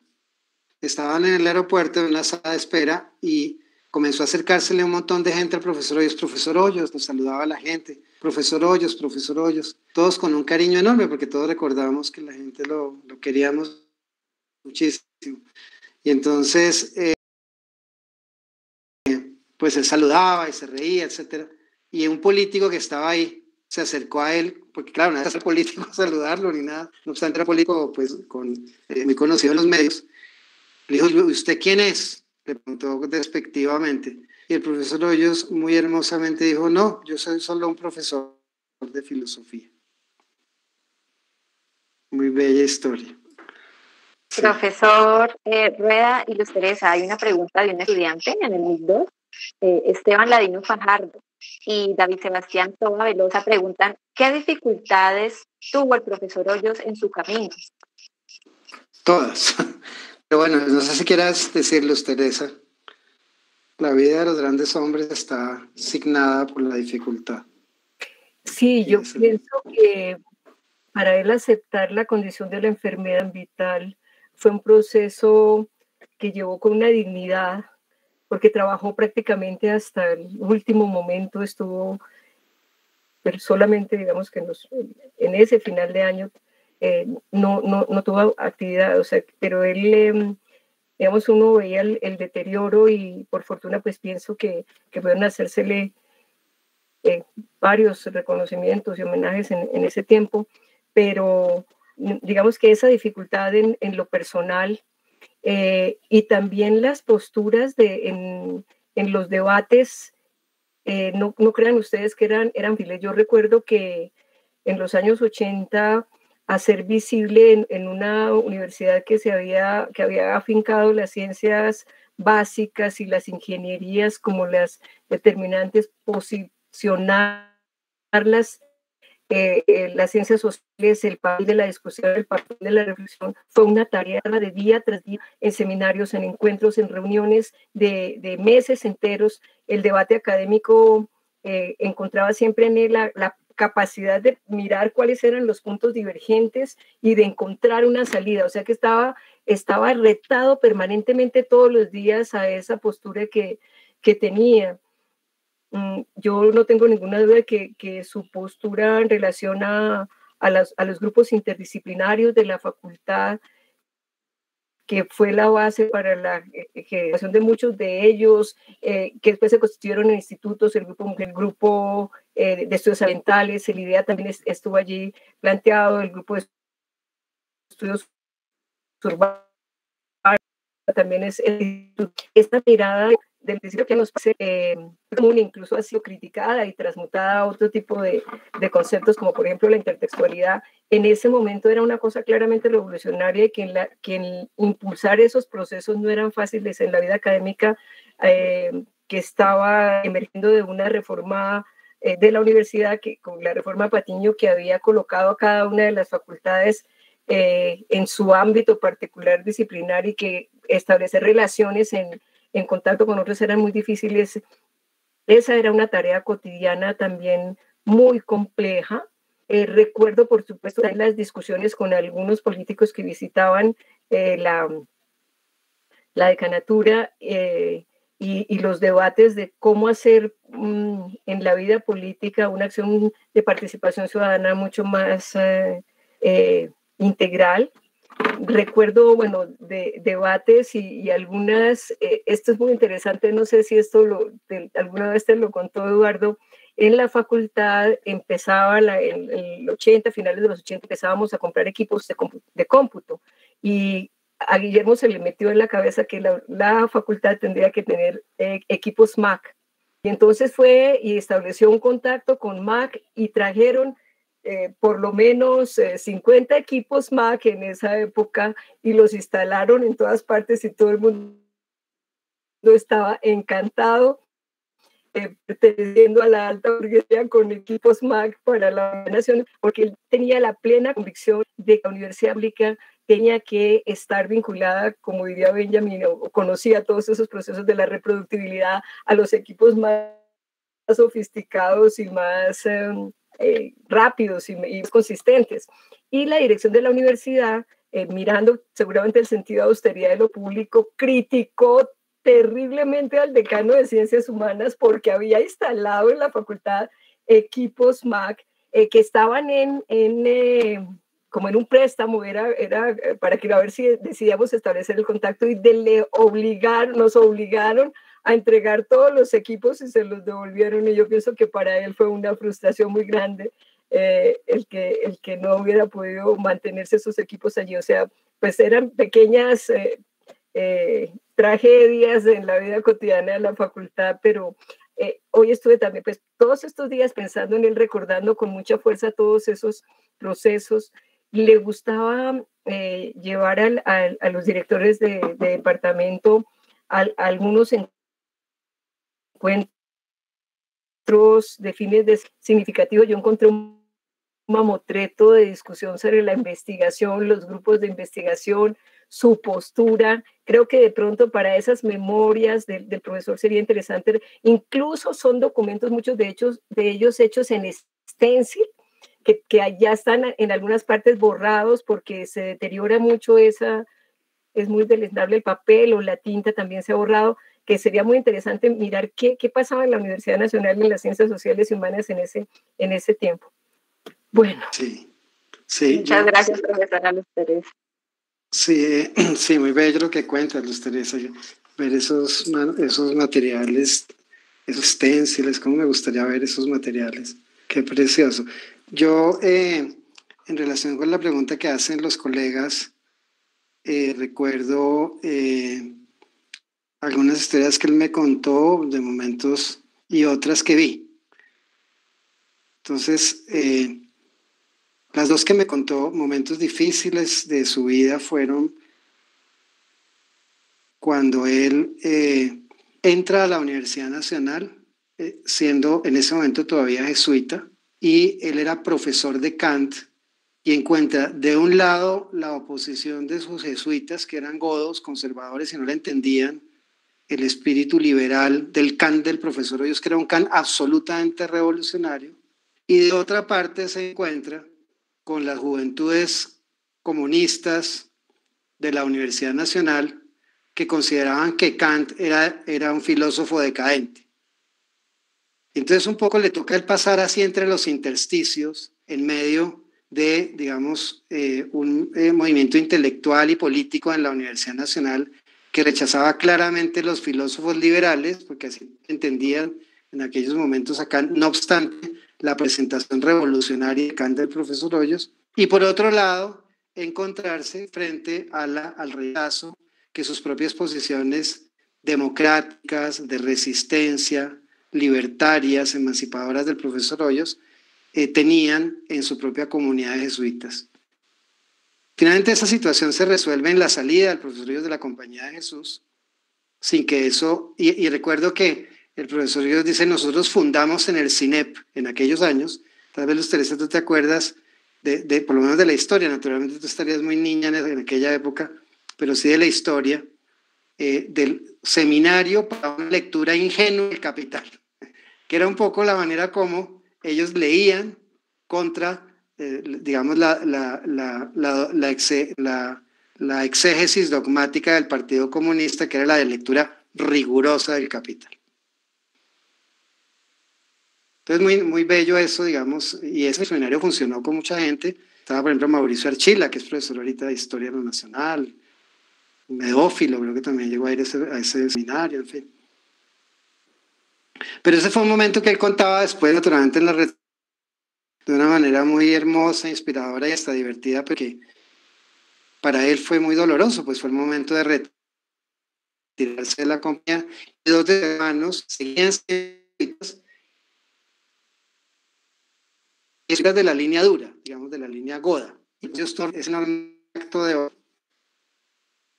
eh, seguir eh, un hombre liberador, no se dejaba someter por la sotana ni por, la, eh, ni por el rigorismo de, eh, de, en ese momento de los marxistas, maoístas colombianos. Muy interesante, digamos, ese momento. Lo que el profesor Hoyos hace ahí realmente constituye un relámpago de lo que significa la libertad de pensamiento.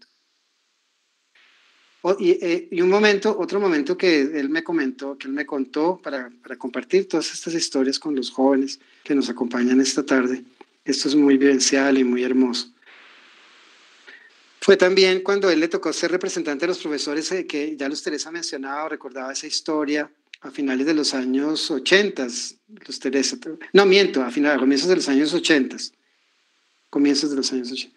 Bueno, él tuvo ahí, digamos, dificultades porque tuvo que manejar eh, un eh, paro de profesores, digamos, y ubicarse en una posición difícil de intermediación entre el profesorado y las directivas de la universidad, cosa que hizo maravillosamente, porque si, el, si había alguien, digamos, absolutamente maravilloso en el ejercicio de lo que él llamaba el arte de lo posible, era el profesor Hoyos. Era maravilloso cómo él lograba despolarizar los grupos y construir puentes de acuerdo. Ese fue un momento también difícil, digamos, porque le generó muchos odios en ciertos grupos de colegas, etcétera en la salida de la Universidad Nacional, cuando él se, se jubila, algo parecido sucede en algunos de sus colegas del Departamento de Filosofía y él se va muy triste porque es que se escribe una nota sobre él bastante desobligante. Eh, bueno, esas cosas siempre pasan, todos hemos pasado esas cosas en la vida. Y él, eh, eso le, resultó particularmente doloroso. Y en la Universidad Javeriana tuvo que soportar muchas formas de autoritarismo eh, y de mezquindad eh, porque él desarrollaba muchísimas cosas a favor de lo público, hacía diplomados, hacía el ciclo rosa, como ya contaba yo en el texto que elaboré, desarrollaba el pensar en público con la participación plural de muy distintos pensadores, etcétera, siempre con esa apertura y generosidad de su espíritu. Y la universidad por, simplemente por razones mezquinas le decían, es que eso no lo debe hacer el Instituto Pensar, es que eso lo tiene que hacer la Facultad de Ciencias Sociales, es que eso se opone a, la, a, a los principios de la universidad. Y él, digamos que combatía siempre, pero se mantenía en la universidad, es decir, él decía, hay que combatir dentro de la universidad. Y eso fue muy aleccionador para todos. Pero sí, fueron momentos difíciles, sin duda, tristes para él, ingratos. Todos los hombres grandes tienen esos momentos en la vida. Gracias, profesor, también por esas palabras. Y para los chicos, entonces ahorita daríamos paso a también su sesión de Fundamentos de Ética y más adelante continuaremos con la profesora Yalil. Eh, entonces, continúo, Joana.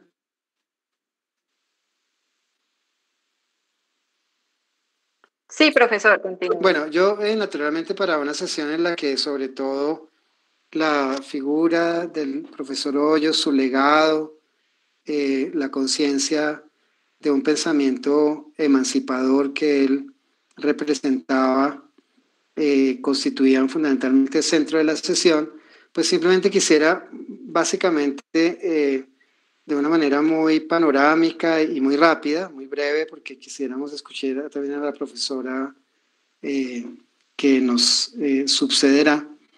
Eh, quisiera presentar pues básicamente cuáles son las distintas escuelas que se han ocupado en la filosofía moral contemporánea de pensar el tema de lo bueno y de lo justo y de tratar de identificar cuáles serían los fundamentos a partir de los cuales uno podría reconocer una decisión como justa o legítima, bien se trate de una decisión que afecta, eh, solamente lo afecta a uno, o de una decisión que comporta eh, afectaciones a la vida en común, que se trata de decisiones vinculantes, digámoslo así.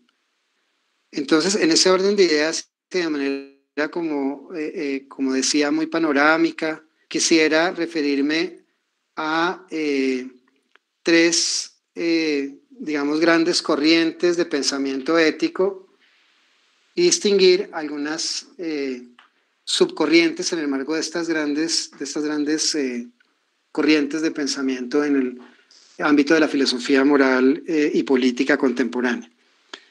La primera, la primera gran escuela es la que se conoce con el nombre del utilitarismo. Eh, y los pensadores que, han que desarrollaron las bases del utilitarismo fueron Jeremy Bentham y John Stuart Mill.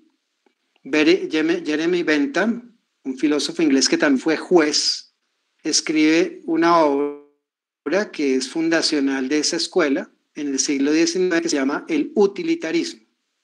Y John Stuart Mill, un tiempo después, escribe una obra en la que explora las consecuencias políticas del utilitarismo sin descuidar la exploración de sus fundamentos morales, que se titula Sobre la libertad, una obra, por cierto, muy hermosa que no me canso de recomendar.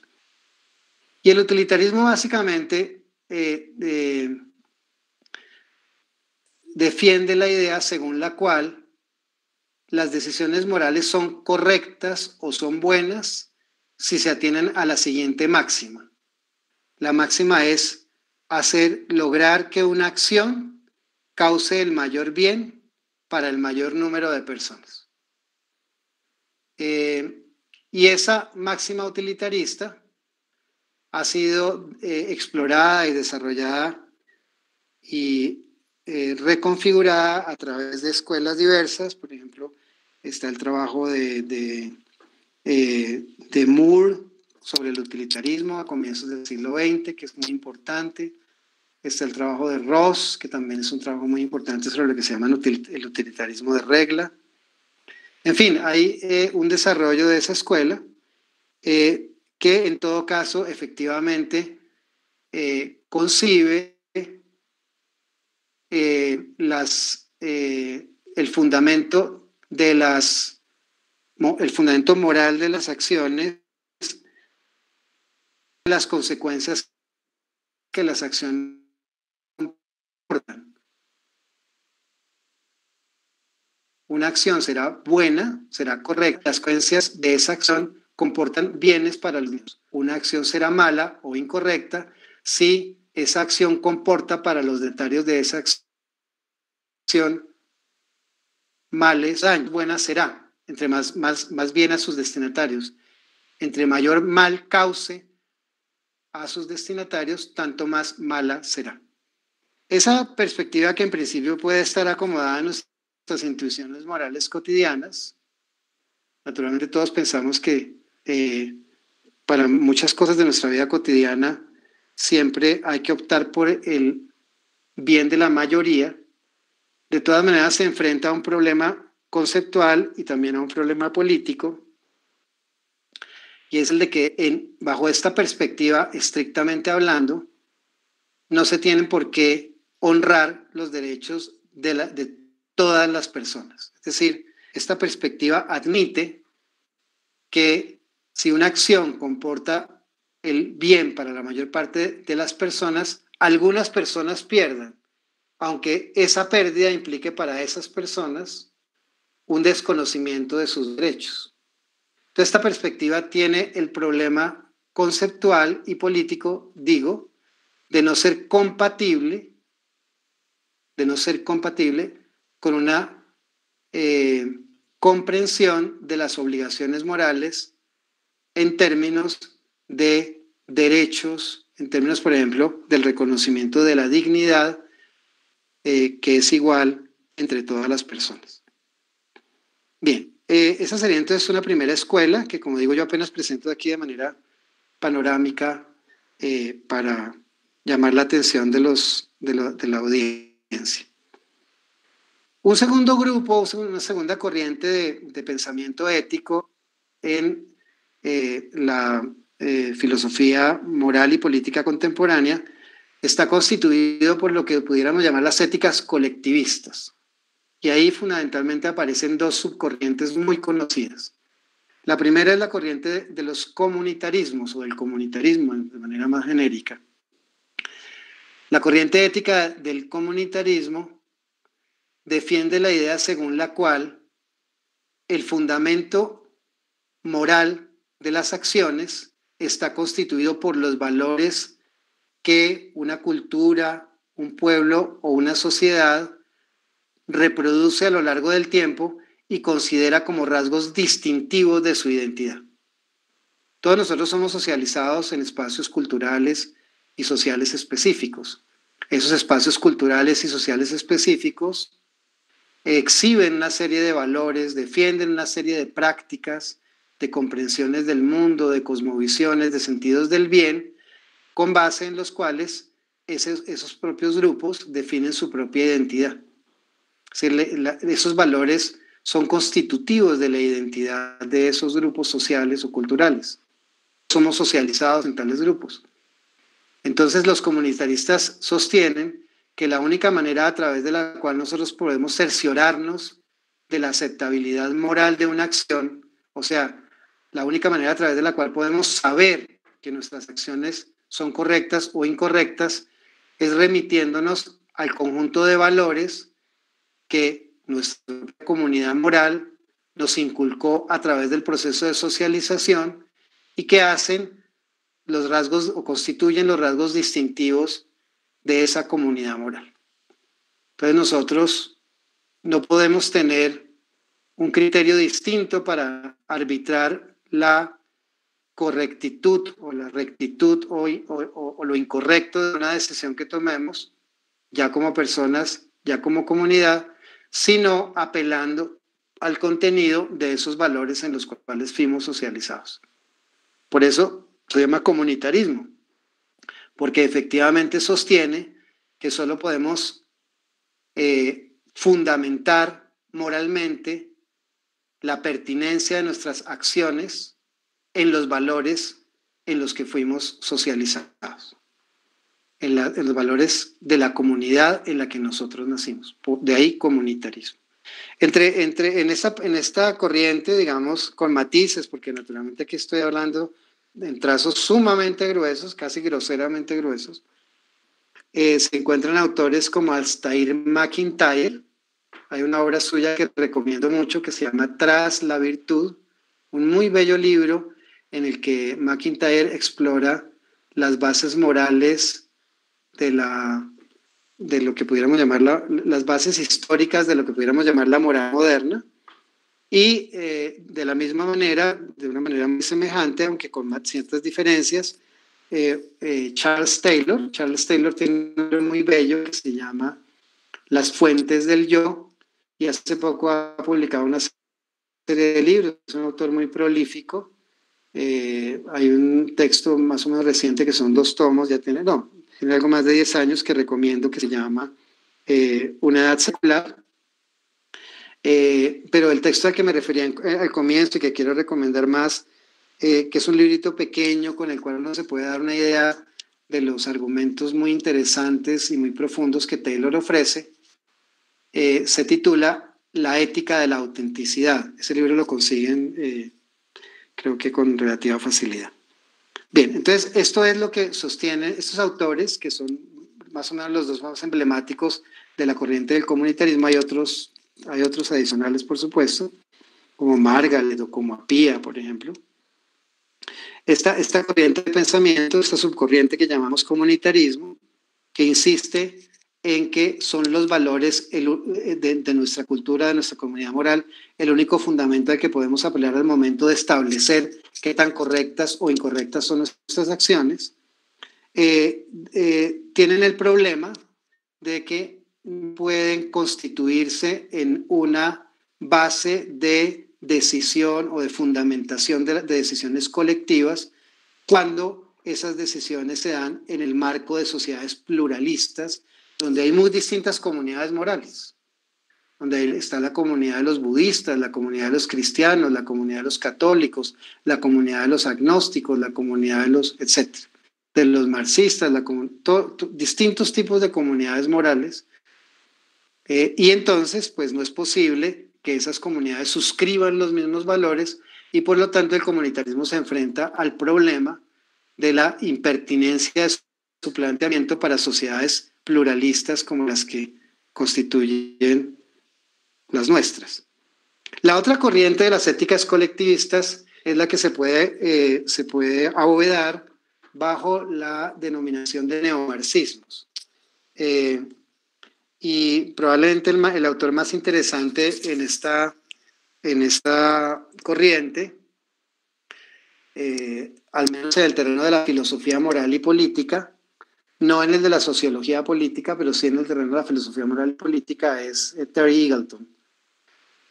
Eh, y fundamentalmente los neomarxismos pues heredan naturalmente la prescripción marciana según la cual eh, las decisiones eh, públicas encuentran su base de legitimidad política y también moral en que expresen la eh, voluntad o lo que pues digamos en los estudios clásicos del marxismo se llamaba la dictadura del proletariado. Entonces, en la medida en que efectivamente las decisiones se basen en lo que constituye el contenido de un consenso del, del, proletariado, de la clase trabajadora, en la medida en que las decisiones se basen en lo que sea el contenido de lo que uno pudiera llamar también con Rousseau, aunque naturalmente esta no es terminología marciana, soberanía popular, en esa medida uno puede, eh, eh, uno puede reconocer la admisibilidad ética y política de sus propias acciones y decisiones. Si uno se refiere entonces a, al contenido de esa voluntad popular como base de justificación de sus, de sus decisiones, entonces estará actuando correctamente. Si desconoce esa base popular, estará actuando incorrectamente.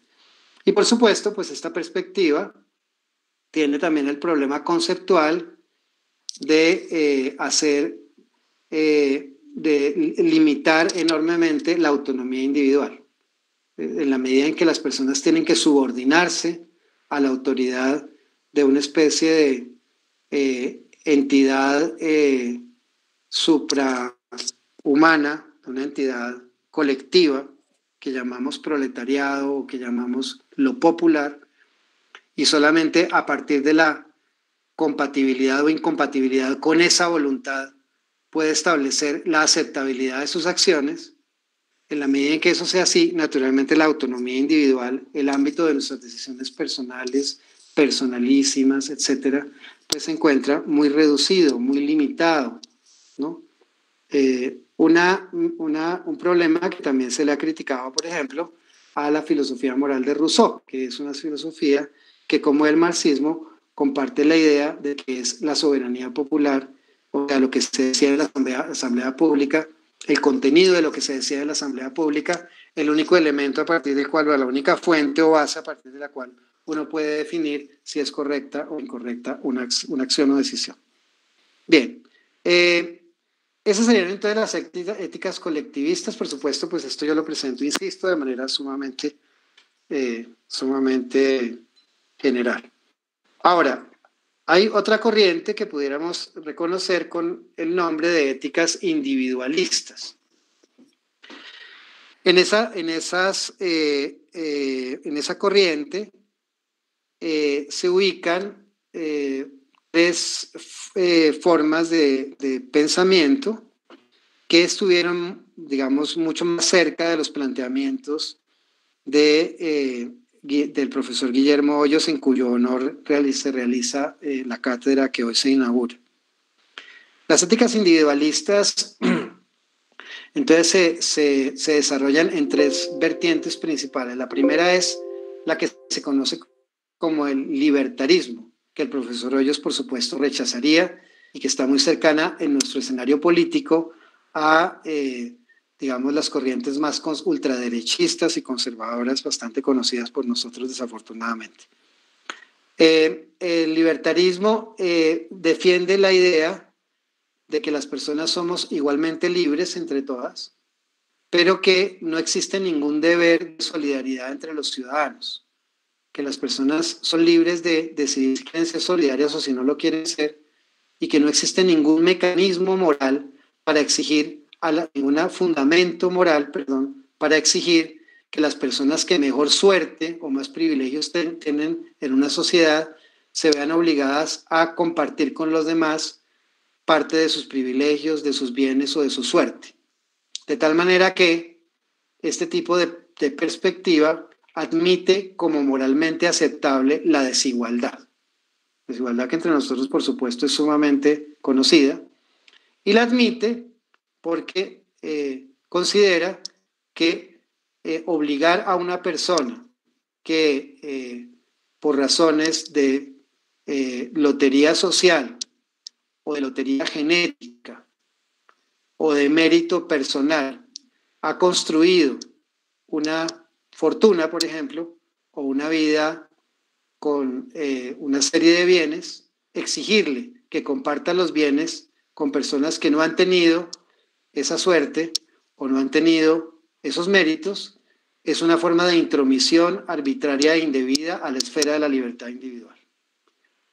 Esa eh, defensa la elabora muy finamente y recomiendo su lectura por la elegancia de los argumentos y porque es muy importante, digamos, entender muy bien la eh, delicadeza con la cual eh, se elaboran para poder precisamente eh, criticarlos. Recomiendo la obra, se llama Anarquía, Estado y Utopía de Robert Nozick. Y la base fundamental de Nozick la encuentra en John Locke, que como es bien conocido fue filósofo y también médico.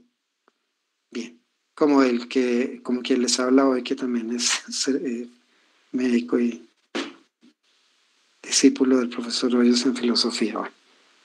Bien, entonces el libertarismo, como vemos, tiene el problema de ser insensible a la desigualdad, de ser, de considerar eh, moralmente eh, eh, no reclamable la obligación de la, la, obligación para ciertos ciudadanos de tener que compartir o ser solidarios con los demás. Por lo tanto, el libertarismo es claramente una perspectiva moral que resulta pugnante con aquellas otras perspectivas que defienden la obligatoriedad de la equidad y que consideran que es moralmente reprobable la desigualdad como la que vemos en, en este mundo. Bien, otra corriente, otras, otra subcorriente de las éticas individualistas está constituida por el liberalismo. La forma más elegante del liberalismo con la que el profesor Hoyos, hacia la cual el profesor Hoyos se sentía sumamente atraído y con la que comulgaba en muchos sentidos, es la que elabora eh, John Rawls eh, a lo largo de una vida de trabajo académico sumamente riguroso, elegante y profundo, que arrancan en un libro conocido cuyo título es Una teoría de la justicia y culminan, o más o menos culminan, por lo menos desde la perspectiva de las innovaciones teóricas, en otra que se llama liberalismo político. La primera fue escrita en 1971 y la segunda fue escrita en 1993, más o menos 22 años. 22 años en los que Rawls tiene que defender la teoría de la justicia,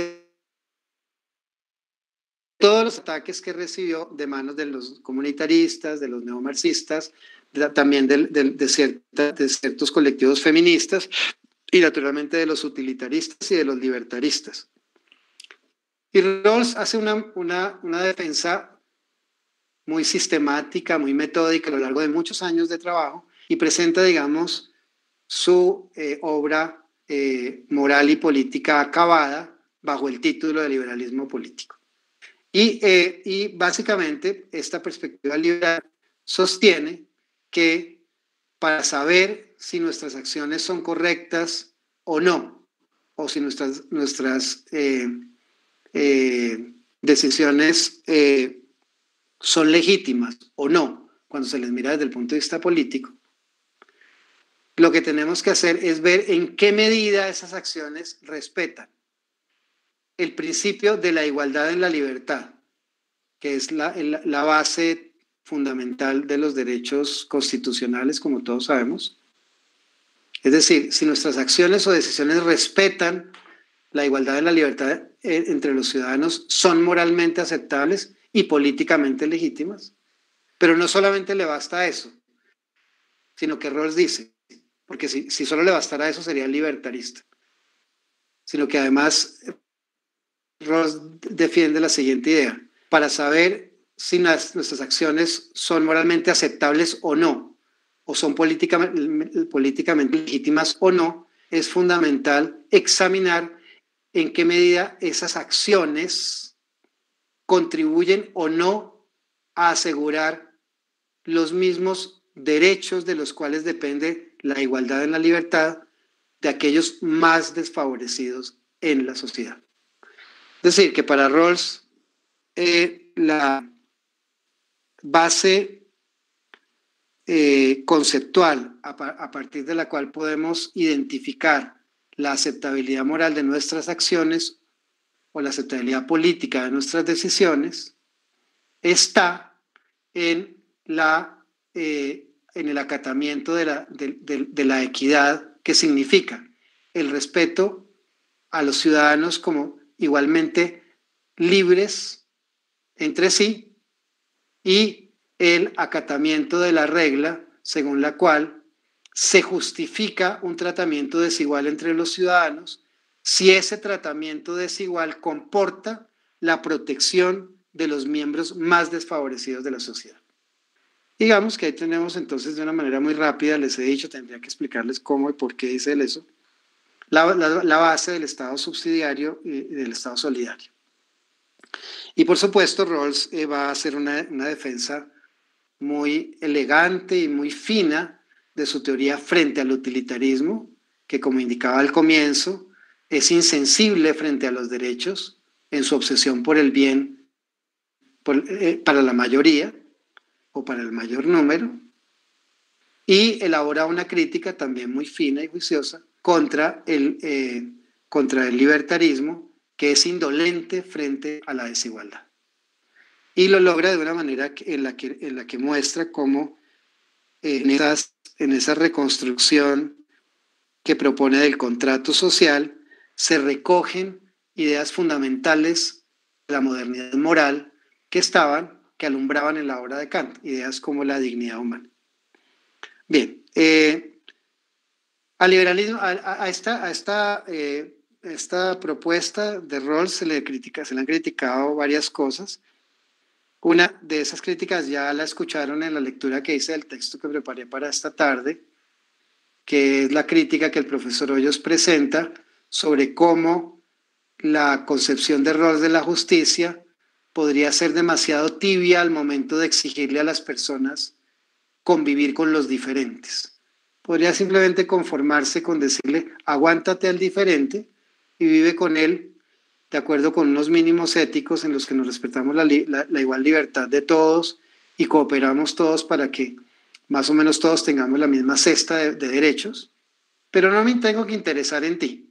Entonces, por un lado, digamos, se ha criticado esa, eh, esa cierta, eh, eh, insensibilidad frente a la diferencia en el planteamiento de Rawls, y por otro lado, del liberalismo político de Rawls, y por otro lado también se le ha criticado que, digamos, no sea suficientemente optimista en lo que pudiera constituir una comunidad política como comunidad moral.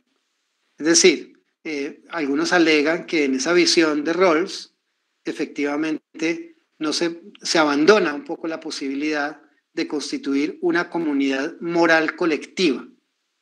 Porque Rawls dice finalmente cada quien tiene sus propias visiones del bien y de lo que se trata es de ver cómo nos tratamos como iguales y cómo nos compensamos las desigualdades para tener más o menos los mismos derechos. Pero insisto, no se interesaba en el tema de la diferencia. Entonces, Ross parece, a Ross parece resultarle imposible tejer una comunidad política, tejer una comunidad política unificada a partir de las diferencias. Entonces se queda con una versión en la que finalmente eh, las diferencias eh, existen y hay que tratar de mantener el contrato social a pesar de ellas. Y bueno, algunos alegan que esa es una visión un poco mezquina de lo que podría constituir una comunidad política auténticamente, auténticamente eh, emancipada y auténticamente capaz de construir eh, una, un régimen, digamos, político de libertades plenas y de vida plena para todos. En Rawls está muy desacoplada la idea de la justicia de la idea del bien. Y al profesor Hoyos, por ejemplo, no le gustaba eso. Bien, eh, y la última, y la, última de las corrientes de estas éticas individualistas es la que se puede reconocer con el nombre de ética discursiva, que es eh, el planteamiento que eh, elabora Jürgen Habermas, un planteamiento también hecho con materiales muy finos de la historia de la filosofía moderna y de la sociología política moderna, eh, y, que fundamentalmente defiende la idea de que eh, las decisiones legítimas solamente pueden proceder si efectivamente constituyen el punto de desembocadura de un debate público que ha estado eh, asegurado, que, ha estado garantizado, al que se le ha garantizado la posibilidad de la participación plena de, las, de los ciudadanos sin que esos, ciudadanos estén expuestos a ninguna forma de coacción y que se encuentren en, posibilidades simétricas de participar del oro de lo público.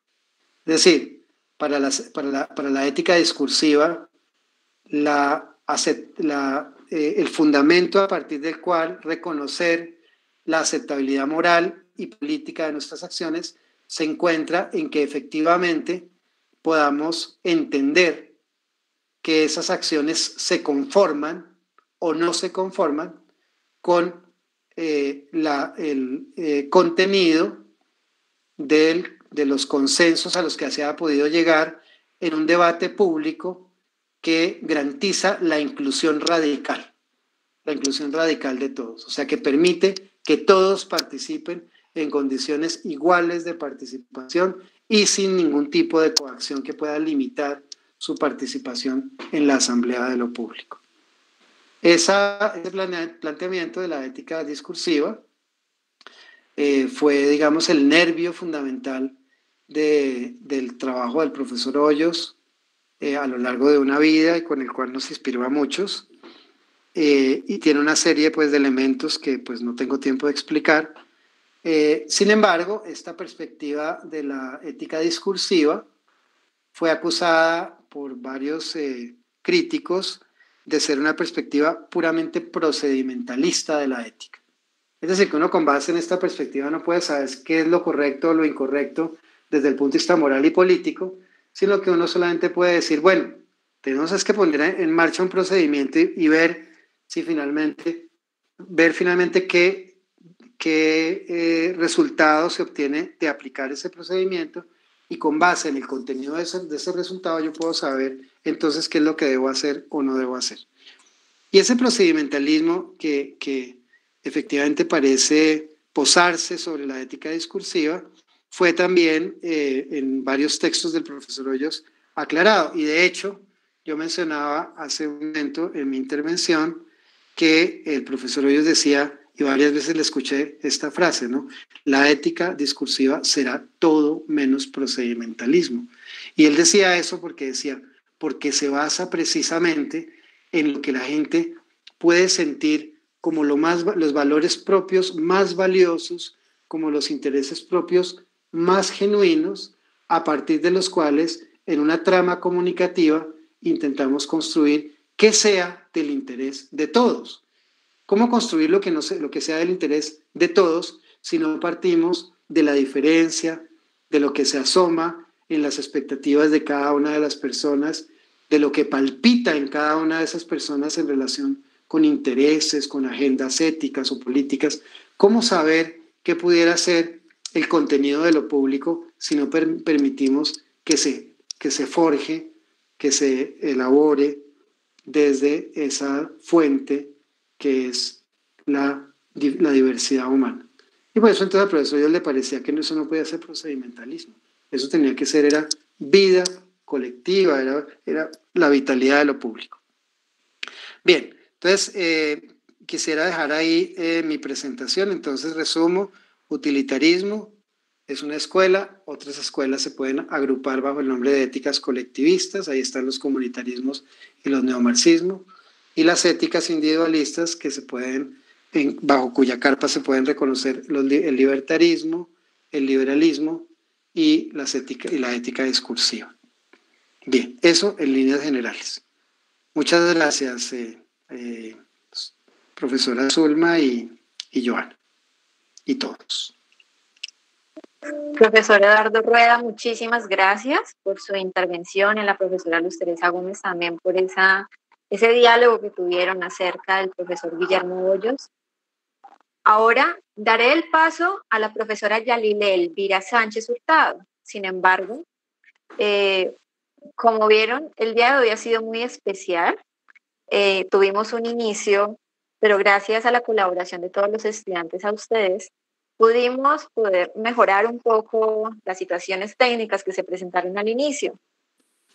Siendo ya las 7:43, la profesora Yalile eh, entendió también la situación que tienen que estar viviendo los estudiantes en estos momentos, eh, quizás el cansancio de la noche. Así que yo le voy a dar paso para que ella dé unas palabras acerca del tema que va a tratar la próxima sesión, el próximo jueves 3 de septiembre. Con ella daremos inicio a esa sesión que habla acerca de la eh, ética de las organizaciones. Y ella nos va a comentar en ese espacio, retomando un poco sobre la ética y luego sobre la formación del sujeto moral. Así que les presento en este espacio a la profesora Yalil Elvira Sánchez Hurtado. Ella es psicóloga de la Universidad Nacional de Colombia con especialización en psicología genética de la Universidad de París 5, René Descartes y en Ciencias del Juego de la Universidad de París 8. Es, es estudiante o estudió en Filosofía de la Universidad Nacional de Colombia y actualmente es profesora asociada de la Facultad de Ciencias Humanas de la Universidad Nacional de Colombia y algunos temas de reflexión y construcción teórico-práctico que trabaja son la relación ética-psicología, tanto desde la pregunta por las condiciones y posibilidades de la intervención profesional del psicólogo como el interés o por el interés en el aporte de la psicología en relación con la comprensión de los procesos de formación y socialización del sujeto moral. Así que es un honor contar con usted, profesora, y le doy el paso para que dé sus palabras. Bueno, Dile, qué alegría verte. Buenas noches. Eh, me siento muy complacida de hacer parte de este eh, de escogido grupo que vamos a trabajar y que empezamos hoy, eh, por, entramos por la puerta grande del tema de la, de la moral y de la ética. Agradezco toda esa aclaración que han, han hecho, sobre todo el profesor que tuvo la paciencia de hacer un repaso bastante especial por, por los desarrollos éticos y me encantó también el recordatorio que han hecho y del profesor Guillermo Hoyos, porque yo participé, fui alumna de él y les quería contar una anécdota que tenía con él y que muestra como su, su manera de ser, donde nos preguntaba a los estudiantes al finalizar cada semestre que le propusiéramos temas para organizar el siguiente curso, que, nos, él estaba dispuesto a organizar eh, eh, el siguiente nivel de, de, la maestría a partir de, de, lo que nosotros estuviéramos interesados en trabajar. Esa era la amplitud y profundidad y disposición de, del profesor Guillermo que nos, nos llevaba antes a que le pusiéramos tareas. Bueno, eh, esta introducción me, parece, me ha parecido, eh, digamos, muy, muy útil para el tema un poco densa. Espero que los estudiantes nos, nos eh, abrumen ahora con, con, preguntas, con interrogantes, porque la introducción ha sido eh, bastante interesante y, nos deja iniciados en el tema. Mi propuesta es iniciarlos en un tema que ha trabajado la psicología, que es la pregunta acerca con muy específicamente de cómo se forma el sujeto moral. Y allí se yo lo voy a asumir desde dos grandes conceptos, el de la socialización y el de eh, el sujeto, el desarrollo del sujeto moral como tal. Entonces, mm, espero poder enlazar algunos de mis, mis los contenidos de mi exposición con algunos de los elementos que nos ha planteado mis anteriores exponentes, eh, los que me antecedieron, y espero también que los estudiantes nos hagan llegar un poco sus inquietudes y sus dudas, porque este es un tema muy compleja, complejo y nosotros los, los que trabajamos el tema, los especialistas, nos metemos en, ese, en esas aguas difíciles y, y hay veces no, nos hace falta un poco pensar en el público y, este tema es bastante denso, entonces eh, a ver cómo ellos nos ayudan a hacer un poco, eh, avanzar en el tema con sus preguntas y con sus inquietudes. Esa es mi sugerencia, que trabajemos un poco a, la entrada eh, como algunas conclusiones, algunos elementos centrales, porque hoy hemos hecho un avance sobre muy interesante. Ah, me parece un poquito denso para los estudiantes, pero el inicio nos deja a todos eh, digamos, con el sabor ya del trabajo que vamos a hacer en esta, en esta cátedra. Entonces, eh, los, nos vemos la próxima semana y, y una buena noche para todos. Muchas gracias, profesora Yalile, por su comprensión, por esa disposición tan bonita, porque a veces uno, eh, no es fácil, los estudiantes no saben, pero no es fácil que un expositor que ha preparado todo su tema que está organizando su horario y, el tiempo resulta que porque hubo una falla técnica no alcanza y porque el tema está muy interesante y la discusión, y eso hay que valorarlo mucho. Que una persona no, es generosidad y lo agradecemos infinitamente. Ya, ya era demasiado denso para los, para los estudiantes, de manera que los dejamos con, la, con el paladar, saboreándose de lo que van a continuar, lo que vamos a continuar trabajando. Sí, maravilloso, maravilloso. Muy querida profesora, tan bella. Muchas gracias. Muchas gracias, profesora. Y a los profesores, sobre todo a Eduardo Rueda, tengo una pregunta de un estudiante, profesor. Joseph Rodríguez dice, ¿el utilitarismo es ajeno a la ética o la moral debido a que estás debido a que esta sola busca cumplir o alcanzar un objetivo? ¿No? No, no es ajeno a la moral, sino que plantea una perspectiva moral que tiene algunos problemas conceptuales, porque es una perspectiva moral para la cual algunas decisiones podrían ser moralmente aceptables, eh, eh, digamos, en situaciones en las cuales se comprometen los derechos de las personas. El utilitarismo puede considerar que una decisión es moralmente aceptable, no obstante, esa decisión comporte la violación de los derechos de ciertas personas, que son las minorías, que son las personas que no son la mayoría, porque esas personas no considerarían que eso es bueno para ellas, pero como la mayoría sí lo considera bueno para ellas, entonces al final la idea según la cual lo bueno es lo que la mayoría considera bueno, podría significar para las minorías una transgresión de los derechos. Eh, pero creo que estas serán cosas que podremos ver con ejemplos eh, a lo largo de la cátedra, supongo. Pues mi tarea era hoy un poco picarlos con, con la teoría, pero naturalmente hay una serie de casos que, que pueden ilustrar esto muy bien. Eh, por ejemplo, el mercado, el mercado desregulado se comporta de manera utilitarista. Y ya vemos cómo el mercado desregulado puede llevar a que hayan perdedores eh, que quedan en la miseria, por ejemplo. Pero eso es admisible dentro de esa perspectiva moral. Yo eh, puedo, como lo explicaste tanto, yo puedo dejar una, una pregunta, dos minutos solamente. ¿Cómo ubicarías en ese marco general a Slavoj Zizek, que tiene tanta influencia en la reflexión neomarxista y las propuestas eh, de la ideología, y a Jean-Marc Ferry con esa tensión entre la argumentación y la narración de, eh, en el texto de, la, de, o las propuestas de lo que él llama la ética reconstructiva, que me parece que...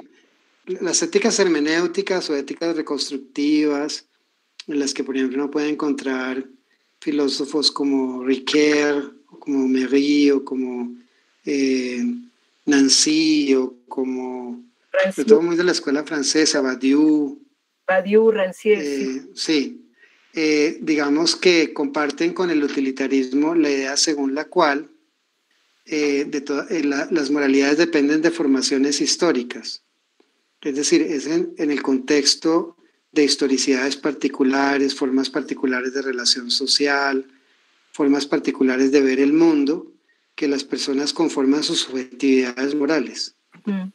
Y eh, naturalmente en su crítica al racionalismo les parece imposible, poco de esa crítica también la comparte Richard Rorty en el lado norteamericano, que uno pudiera disponer de algún tipo de aparato meta histórico, como dice Habermas, trascendental o para poder evaluar más allá de la cultura o más allá de la historia o más allá de las formaciones históricas en las que uno haya cultivado su subjetividad moral, si sus acciones son correctas o no lo son. Entonces, eh, eh, hay un texto muy bello de Antanas de hace muchos años, recuerdo que el texto de Antifidios Culturales, en el que hace un ensayito, una, una parte de ese ensayo la dedica a la relación conceptualmente conflictiva entre moral moderna y cultura. Y eh, digamos que en ese texto él recoge precisamente esta tensión que eh, aparece entre, entre los filósofos que defienden la idea según la cual las subjetividades morales son completamente subsidiarias de historias, digamos, del contexto, y otros filósofos que consideran que cognitivamente uno puede salirse del contexto de alguna manera, replantear los procesos de socialización que llevaron a una subjetividad moral particular y armarse de otros valores, de otras normas, de otras ideas sobre lo correcto lo bueno, con base en ese escrutinio crítico. Ese es Habermas, digamos, por ejemplo. Entonces, eh, y también en parte Kant, o también Kant, desde luego. Entonces, digamos, la, filosofía moderna estaba atravesada por ese debate, tanto el debate entre Kant y Hegel, por ejemplo, fue un debate en el que efectivamente la cognición trascendental de la moral de Kant se oponía a la eticidad contextualizada de Hegel, por ejemplo. Y así, entonces, eso mismo también se refleja eh, eh, en las perspectivas contemporáneas de la ética. Mm. Ahora, Zizek eh, es, eh, eh, digamos, también un pensador que se ancla en esta concepción historicista y psicoanalítica de las subjetividades modernas y a partir de eso pues hace una defensa de, digamos, del cambio social desde una perspectiva que, eh, que recuerda lo que, lo que en la filosofía moderna se llama el sujeto Foucaultiano marxista o freudiano marxista, digamos que tiene muchos elementos naturalmente del marxismo y el psicoanálisis, eh, eh, un poco apurando una agenda en la que, en la que al final se trata fundamentalmente de encontrar los, materiales, para construir, una, libertad plena. Eh, y esa, eh, esos materiales él los encuentra fundamentalmente en la, en la, en, la eh, lectura freudiana, del, la, teoría, la teoría freudiana del instinto o en otras cosas que pues no puedo referirme ahorita debidamente. Pero digamos que, que uno podría también utilizar unas denominaciones éticas hermenéuticas, por ejemplo, hablar en esos términos, pero pues para ser más esquemático preferí utilizar esas denominaciones. Gracias, profesor. Tengo otra pregunta de un estudiante, eh, Santiago Delgado Villalobos. Profe, ¿podría explicar un poco mejor cuál es la crítica a la ética discursiva? ¿A qué se refiere exactamente el procedimentalismo? Y antes que conteste, me gustaría pedirle al estudiante Juan Camilo López Ceballos si nos puede hablar un poco más sobre su pregunta. Él dijo, el personalismo entra en la cátedra, si no la puede desarrollar un poco más. Por ahora lo dejo con la ah, pregunta de Santiago Delgado Sí, sí, sí. Si nos podría explicar un poco mejor cuál es la crítica a la ética discursiva y a qué se refiere exactamente el procedimentalismo. ¿Comienzo por eso o esperamos a Juan Camilo? Sí, comience con esas, profesor. Bueno, Joana, gracias. Eh, sí, la crítica, la, crítica que algunos eh, eh, autores, por ejemplo Tugendhat, han hecho a la ética discursiva, eh, es que la ética discursiva propone un procedimiento para que las personas definan qué es lo justo y qué es lo bueno para ellos. Es decir, qué es lo que consulta el interés de todos. De lo que se trata es de garantizar un procedimiento. Ese procedimiento eh, debe cumplir con reglas como la inclusividad plena, o sea, nadie tiene por qué quedarse por fuera del debate sobre lo que sea del interés de todos. Reglas como la simetría, nadie debe tener más poder para hablar que otro, todos tienen el mismo derecho de palabra, de hablar y de decir y de ser escuchados. Y tercero, nadie puede eh, eh, eh, en ese tipo de, procedimientos de, debate o deliberación pública, los ciudadanos han de encontrarse libres de coacciones que puedan limitar la su expresión de voluntad, su punto de vista, su pensamiento libre. Entonces, esas reglas se llaman las reglas de inclusividad, simetría y no coacción. Entonces, Habermas dice, siempre que cumple, o la ética discursiva propone, siempre que cumplamos con esa regla, entonces podemos confiar en la legitimidad del contenido de la deliberación pública, de lo que decida la comunidad sobre lo que ha de ser una norma vinculante. Por ejemplo, una ley, una ley en nuestro es legítima, es aceptable desde la perspectiva de la ética discursiva, si ha surgido como eh, resultado de un debate público abierto, donde todos han participado, donde nadie se le ha limitado el derecho de palabra, donde nadie se ha amenazado, donde todos tienen la misma posibilidad de intervenir, de exponer sus argumentos, y en medio de toda esa circunstancia, entonces comunicativamente arreglada, se van sedimentando los acuerdos de esos ciudadanos que son los que constituyen la, el consenso público. Y el consenso, entonces, es un consenso normativo. Hay unas normas de vida en común que se pactan siguiendo ese procedimiento. Pero la ética discursiva no te dice como si las éticas comunitaristas, mira, tú tienes que honrar el valor de tal cosa, el valor de la lealtad, el valor de la amistad, el valor de la moderación. Eso no, no parten de ahí. Parten de una garantía procedimental, que todos los que tengan algo que decir lo puedan decir, que no se vean excluidos del procedimiento y que no se vean coaccionados para que no puedan decir lo que quieran decir. Y entonces Habermas confía en los resultados de ese proceso. Entonces por eso se acusa a la ética discursiva de ser procedimentalista, porque no ofrece un recurso sustantivo para decir, decirle a la política o a las personas que estás actuando bien o mal, sino lo que les dice es, revisa si el procedimiento con base en el cual acordaste esa norma colectiva esa norma a partir de la cual eh, tú, organizas, por ejemplo, lo público, organizas la función del Estado, etcétera, es una norma que surgió de un procedimiento deliberativo pleno o no. Mira el procedimiento. Surgió de un procedimiento deliberativo pleno, entonces es una norma legítima y se puede revisar de acuerdo con ese mismo procedimiento, si las personas encuentran nuevos argumentos con base en los cuales objetarla. Y, pero no te dice cuáles son las normas. Eso es lo que dicen quienes critican la perspectiva de la ética discursiva.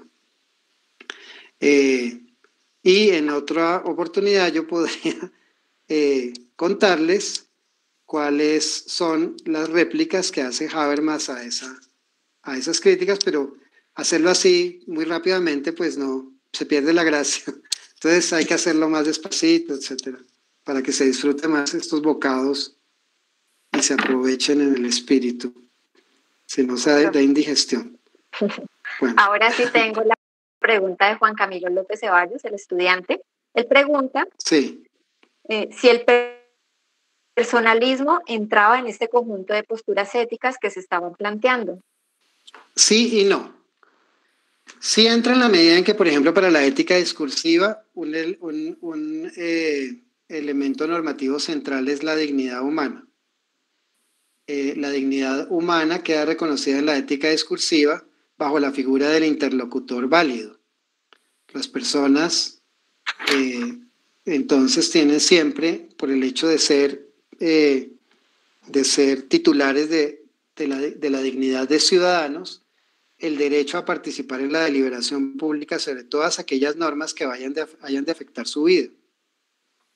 Eh, entonces, digamos, la ética discursiva, lo mismo la ética liberal de Rawls, las éticas liberales que se basan en la igualdad y la libertad, recogen también esta idea de la persona en el sentido de quien es titular de la dignidad humana y por lo tanto de los derechos a la autonomía privada y a la autonomía pública. Esto, eh, entonces, eh, en relación con el sí.